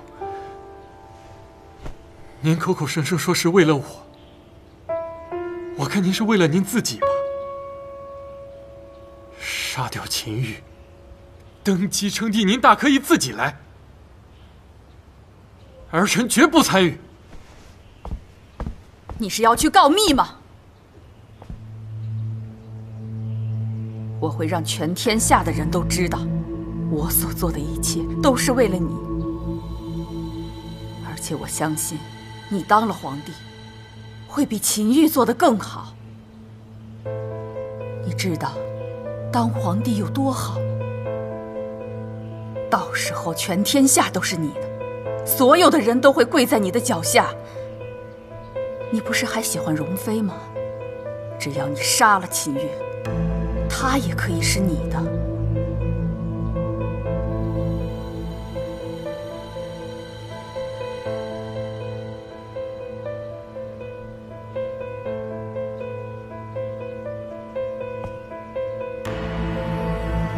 既然母后主意已决，儿臣别无选择，一切皆听母后安排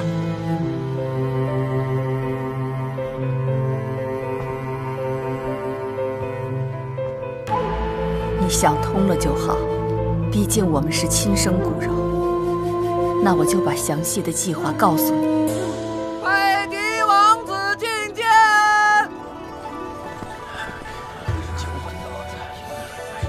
北狄王子蒙台参见大胤皇帝陛下。免礼了。蒙台王子，你北狄国多年以来不断侵扰我大印疆土，劫掠百姓，如今却想要议和，不知不知可有何诚意？我北狄愿献良驹一千匹，牛羊各五千头。同时希望大印皇帝能割让河套之地，给我北狄放牛牧马，另岁币白银二百万两，并派一名皇室公主嫁到我们北狄，从此两国将和睦相处，再不起刀兵。你北狄国胃口不小啊！河套之地乃是我大印疆土，绝对不会割让给任何国家。关于岁币。你北狄并不是我大印附属国，没有这个道理。至于和亲，朕也不会考虑。这样，本王回去再重新考虑一下，如何？当然可以。蒙台王子远来辛苦，今晚就留下好好休息。明日，朕在宫中设宴，招待使团。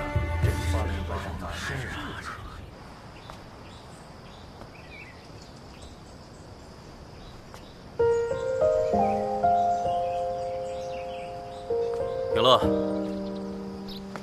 皇兄，想什么呢？听说北狄的人过来议和了。是，他们提出割地、岁币、和亲，都被朕拒绝了。割地、岁币不能答应，但和亲其实很容易做到的。你是朕的妹妹。朕希望你能幸福，但不是牺牲你的幸福去争取政治。皇兄，我知道你对我好，但是你为了大印一直殚精竭虑，我是不是也不该太自私啊？以前我很怕和亲，可是现在一想到我因为自己的幸福而让大印百姓一直处于战火之中，不能和平，我也心中难熬。朕是想要和平，但不是靠牺牲尊严换来的和平，那是虚假的和平。只有靠实力争取到的和平，才是真正的和平。连自己的妹妹都守护不了，怎么保护我大印江山啊？皇兄，好了，给朕倒杯茶。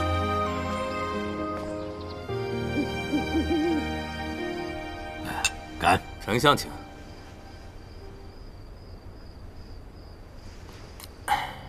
丞相，嗯，明日就将举行大事，你这边一切都已经安排妥当了吧？王子放心，一切准备就绪。明日晚宴之上，时机一到，王子的使团配合太后的亲卫，攻击祁域，再加上放入城中的北狄精兵，禁卫军腹背受敌，撑不了太久。只要抓到秦玉，大局就可。告成。龙武卫是太后的党羽，而大燕皇位合法继承人是秦川。丞相，你有足够的把握控制局面吗？可别忙活了半天，最后却给他人做了嫁衣呀！哼，太后一向任我摆布，秦川更是懦弱无能之辈。有北狄的精兵和本相调来的军队。在京城外策应，绝无意外。好，吾王万岁万岁万万岁！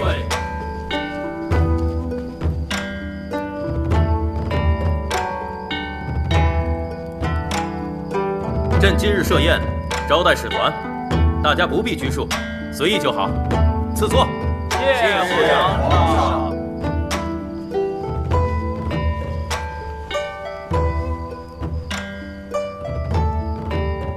蒙台王子，来我大印还习惯吗？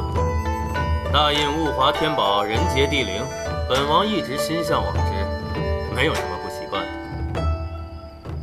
朕敬各位。谢皇上。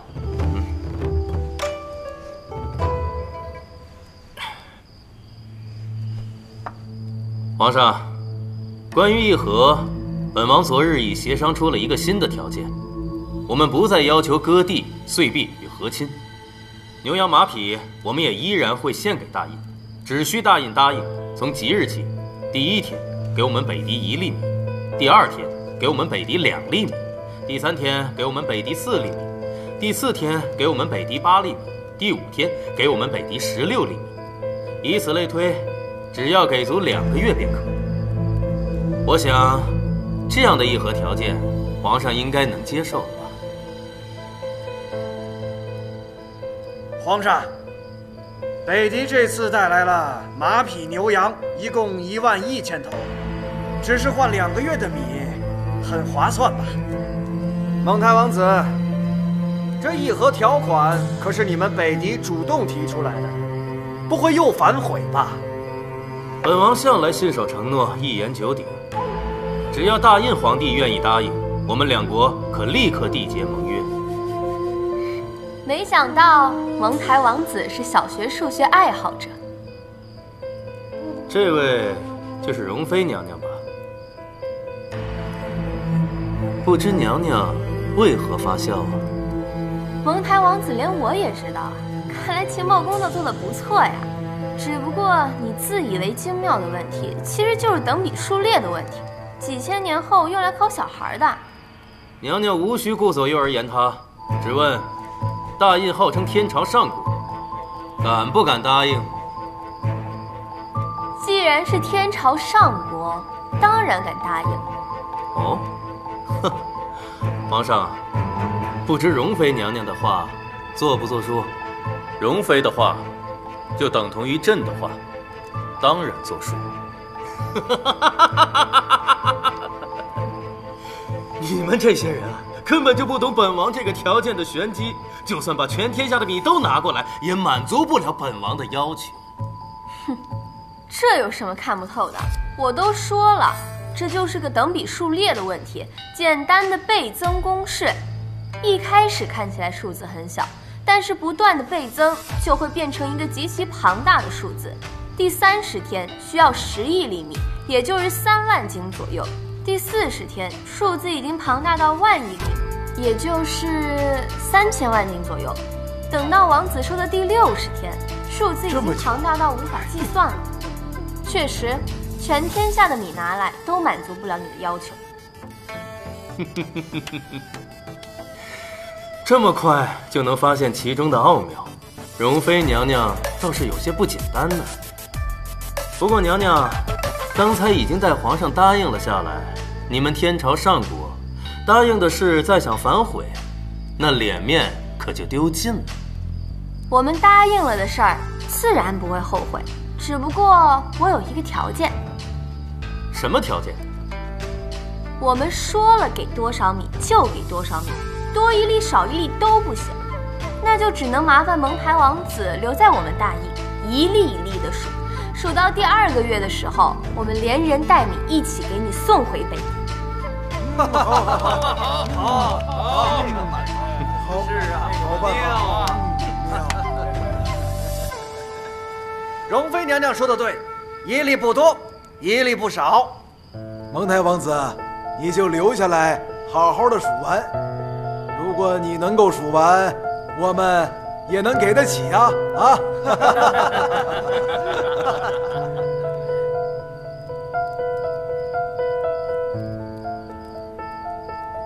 早就听闻，大胤的容妃娘娘才智过人，今日一见，果然厉害。本王这杯酒就敬娘娘吧。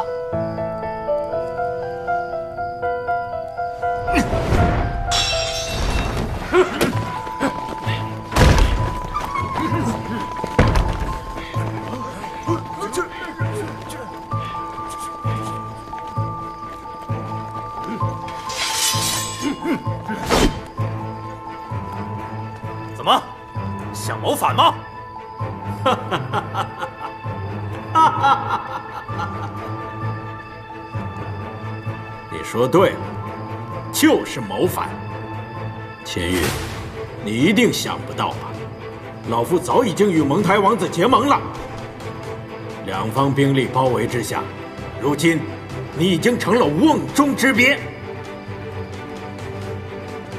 丞相，朕看在太后的面子上，对你格外忍让。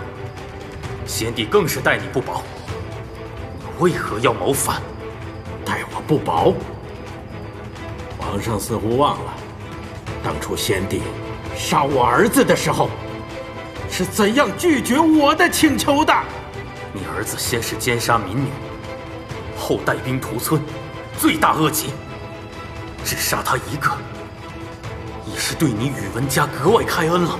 罪大恶极又如何？他之所以要死，只是因为我不是皇帝，没有掌握最高权力而已。如果他是皇子，又有谁敢杀他？啊！天子犯法，与庶民同罪。你有这样的想法，注定你成不了君王。哼！成王败寇，将来史书如何书写，由我这个胜利者来决定。杨虎在，还不将秦玉拿下？是，拿下。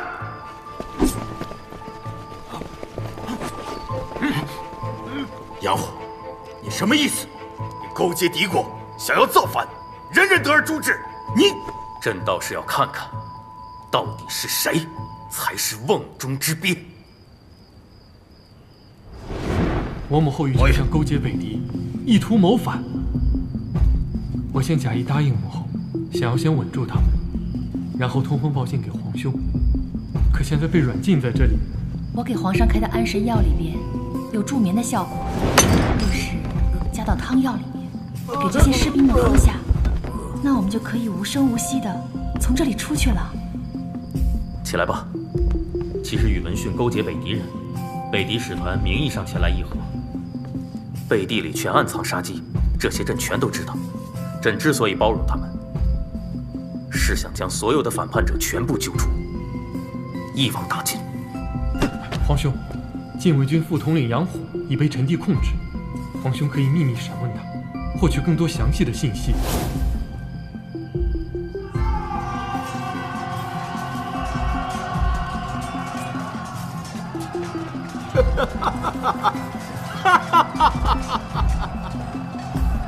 秦玉，你以为你策反了杨虎，就能稳操胜券吗？你听见外面的喊杀声了？那是北狄的精兵和忠于我的军队，他们此刻已攻入了皇宫。就你这点兵力，孤掌难鸣，照样要沦为我的阶下囚。你真以为你瞒得了朕吗？自瘟疫事件以来，朕就知道你和北狄人勾结在一起。你拿太后当枪，暗藏兵马，计划的倒是不错。可你外面和北狄人的人马，恐怕已被朕消灭殆尽了。我不信，你是在虚张声势。信与不信，由不得你。报！启禀皇上，北狄伏兵和丞相叛兵都已引入城内，全部伏诛。启禀皇上，丞相府已经拿下，所有党羽一网打尽。我不信，我不信，这些都是假的，都是假的。丞相啊，丞相，本王低估了秦玉，也高估了你。如今看来，只能束手就擒了。给朕拿下！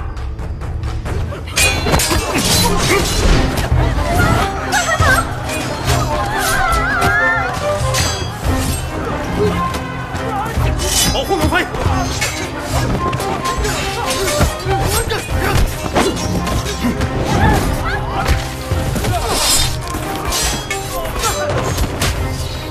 宇文白手里的罪证，朕早就拿到了。宇文勋祸国殃民，证据确凿，朕现在送你上路。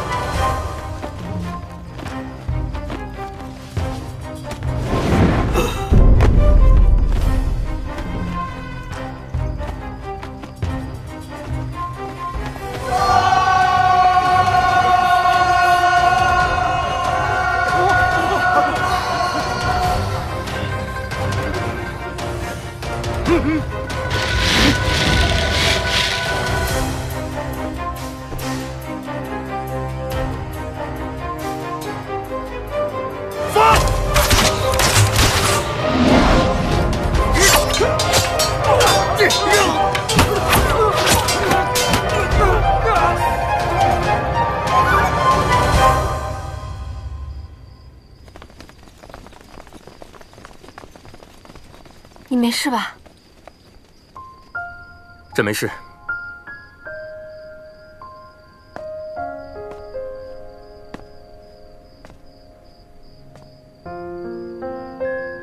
自朕登基之时，朕就立下誓言，朕要建立天朝上国。可朕不是为了名垂千史，不是为了成就霸业，朕是为了我大印江山百姓。我弱，则人人欺凌；国强，则百姓安乐。丞相宇文训勾结敌国，祸乱朝政。现已被朕伏诛，希望百官以此为戒，心系百姓，让我大印国民生活在盛世乾坤之下。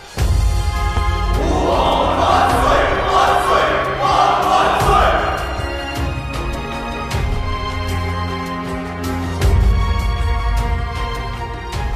一切终于都结束了，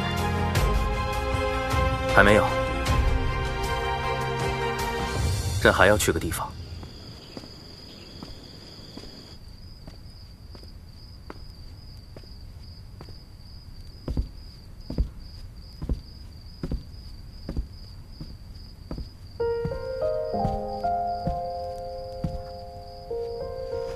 儿臣给母后请安。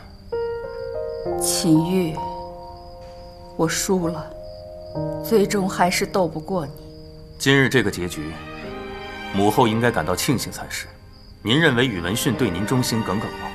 他一心只想利用您，他只想为自己夺天下。若是今日他赢了，母后与川儿必将死于他手。我大印江山要更朝换代，与北狄勾结，注定只能让百姓沦落于异族铁蹄之下。成王败寇，我无话可说。要杀就杀！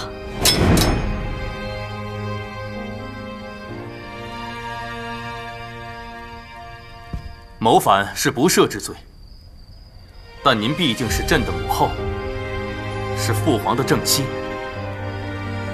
朕不会杀你。你不要再跟我提起他！要不是当年他对你一心偏爱，远离我跟川儿。也不至于到今天这个地步。你错了，父皇更疼爱的是川儿。如果更疼爱川儿，为什么把皇位传给了你呢？他当时年纪还小，生性恬淡。我大印周边强国林立，战事不断。此时的他登基，对他和大印都不是好事。一旦国家危亡，他会成为大印的千古罪人，性命难保。父皇临终前千叮咛万嘱咐，要朕保住大印江山社稷，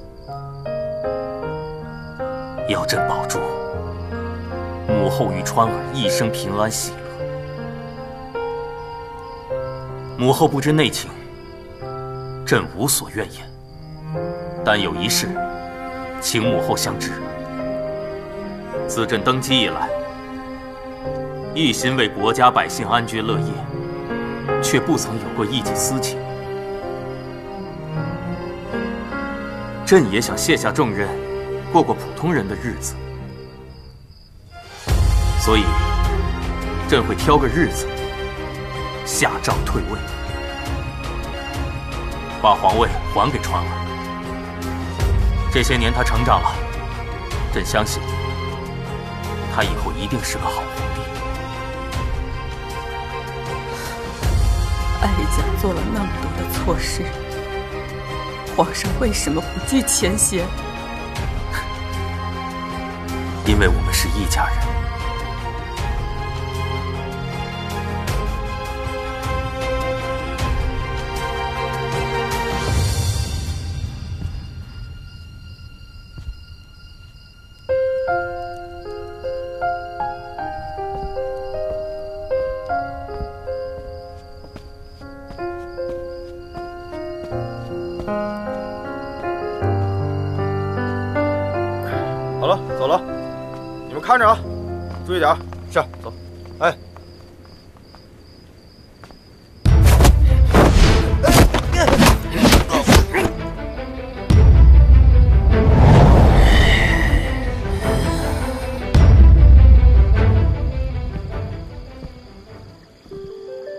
现在，一切真的结束了。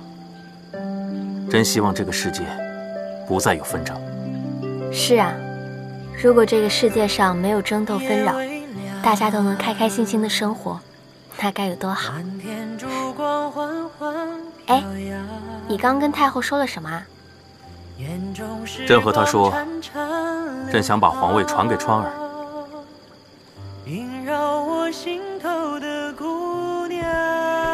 然后找个没人的地方，跟你长相厮守。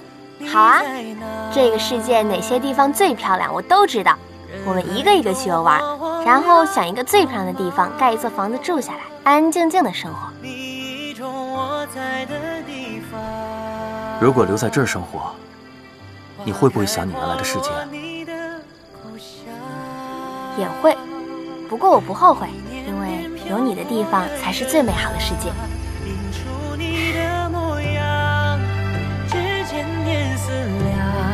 雕刻了时光，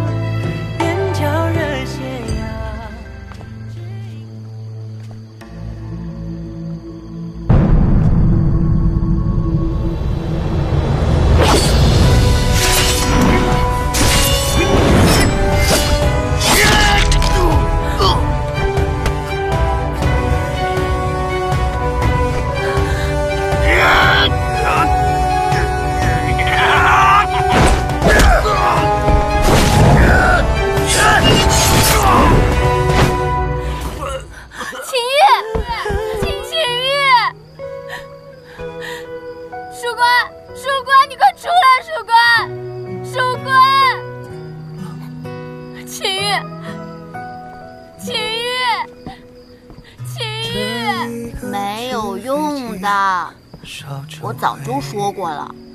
他不是这个世界的主角之后，不但失去了运气加身，而且他还会被越来越多的厄运反噬，所以我也没有办法救活他。求求你救救他，他不能死啊！能救他的人只有你，是你的到来使他改变了一切，也只有你的离开才能让他继续做这个世界的主角，重新获得生的机会。让我想起曾为你忘掉的谁，想到他离开时的神态，我终于明白，什么叫做痛彻心扉。我以为和你出双入对，就可以掩盖内心的焦秦玉。我以为清醒的就和你在一起，才是我最想要的生活。可是比起这个，我更想让你活着。秦玉，对不起，我爱你。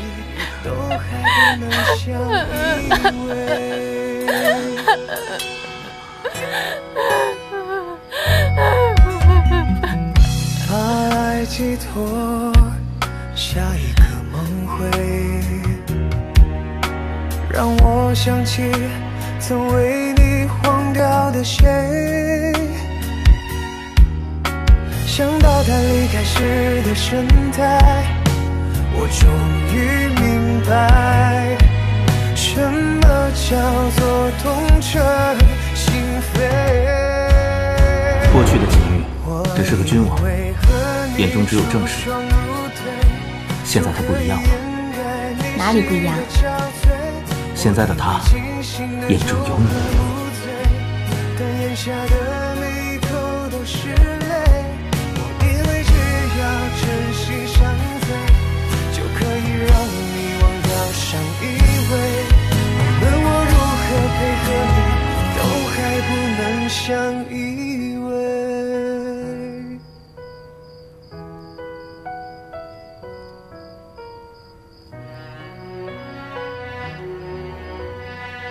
秦月你醒了？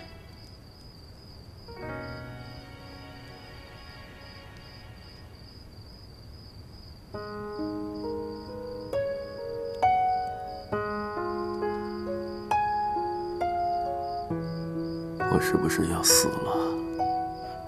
不会的，我不会让你死的。和你在一起的日子，是我这辈子最快乐的日子。我也是，能够穿越过来遇见你，我一点都不后悔。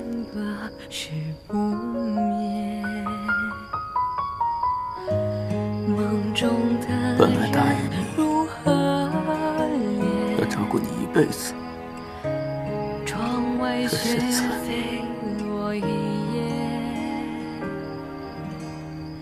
现在以后照顾好自己，好吗？你已经做得很好了，我不会让你死的。我是作者，我不会让你死的。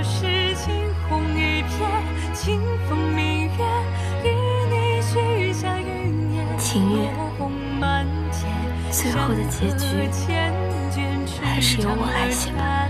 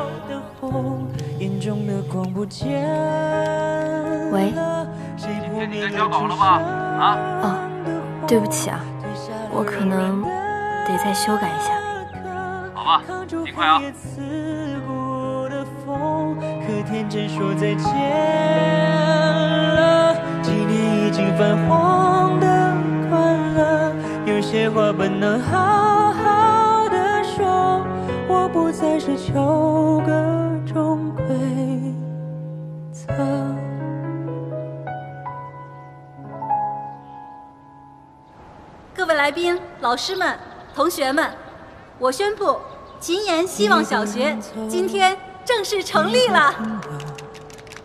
目光尽头，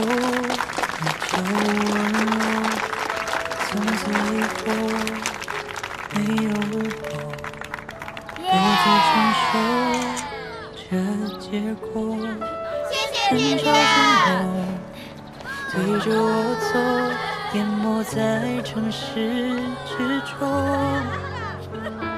时光交错，命运捉弄。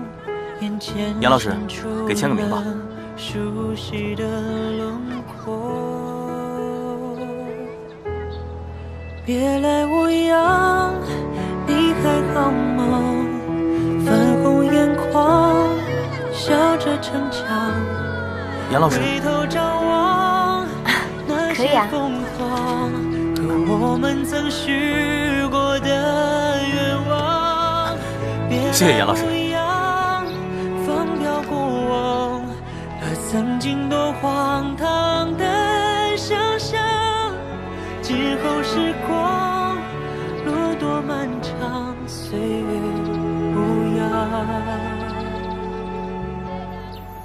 别来无恙，就这样吧。挥手摇晃，嘴角轻扬，我们就像太阳和月亮，黑夜白昼不必再遇上。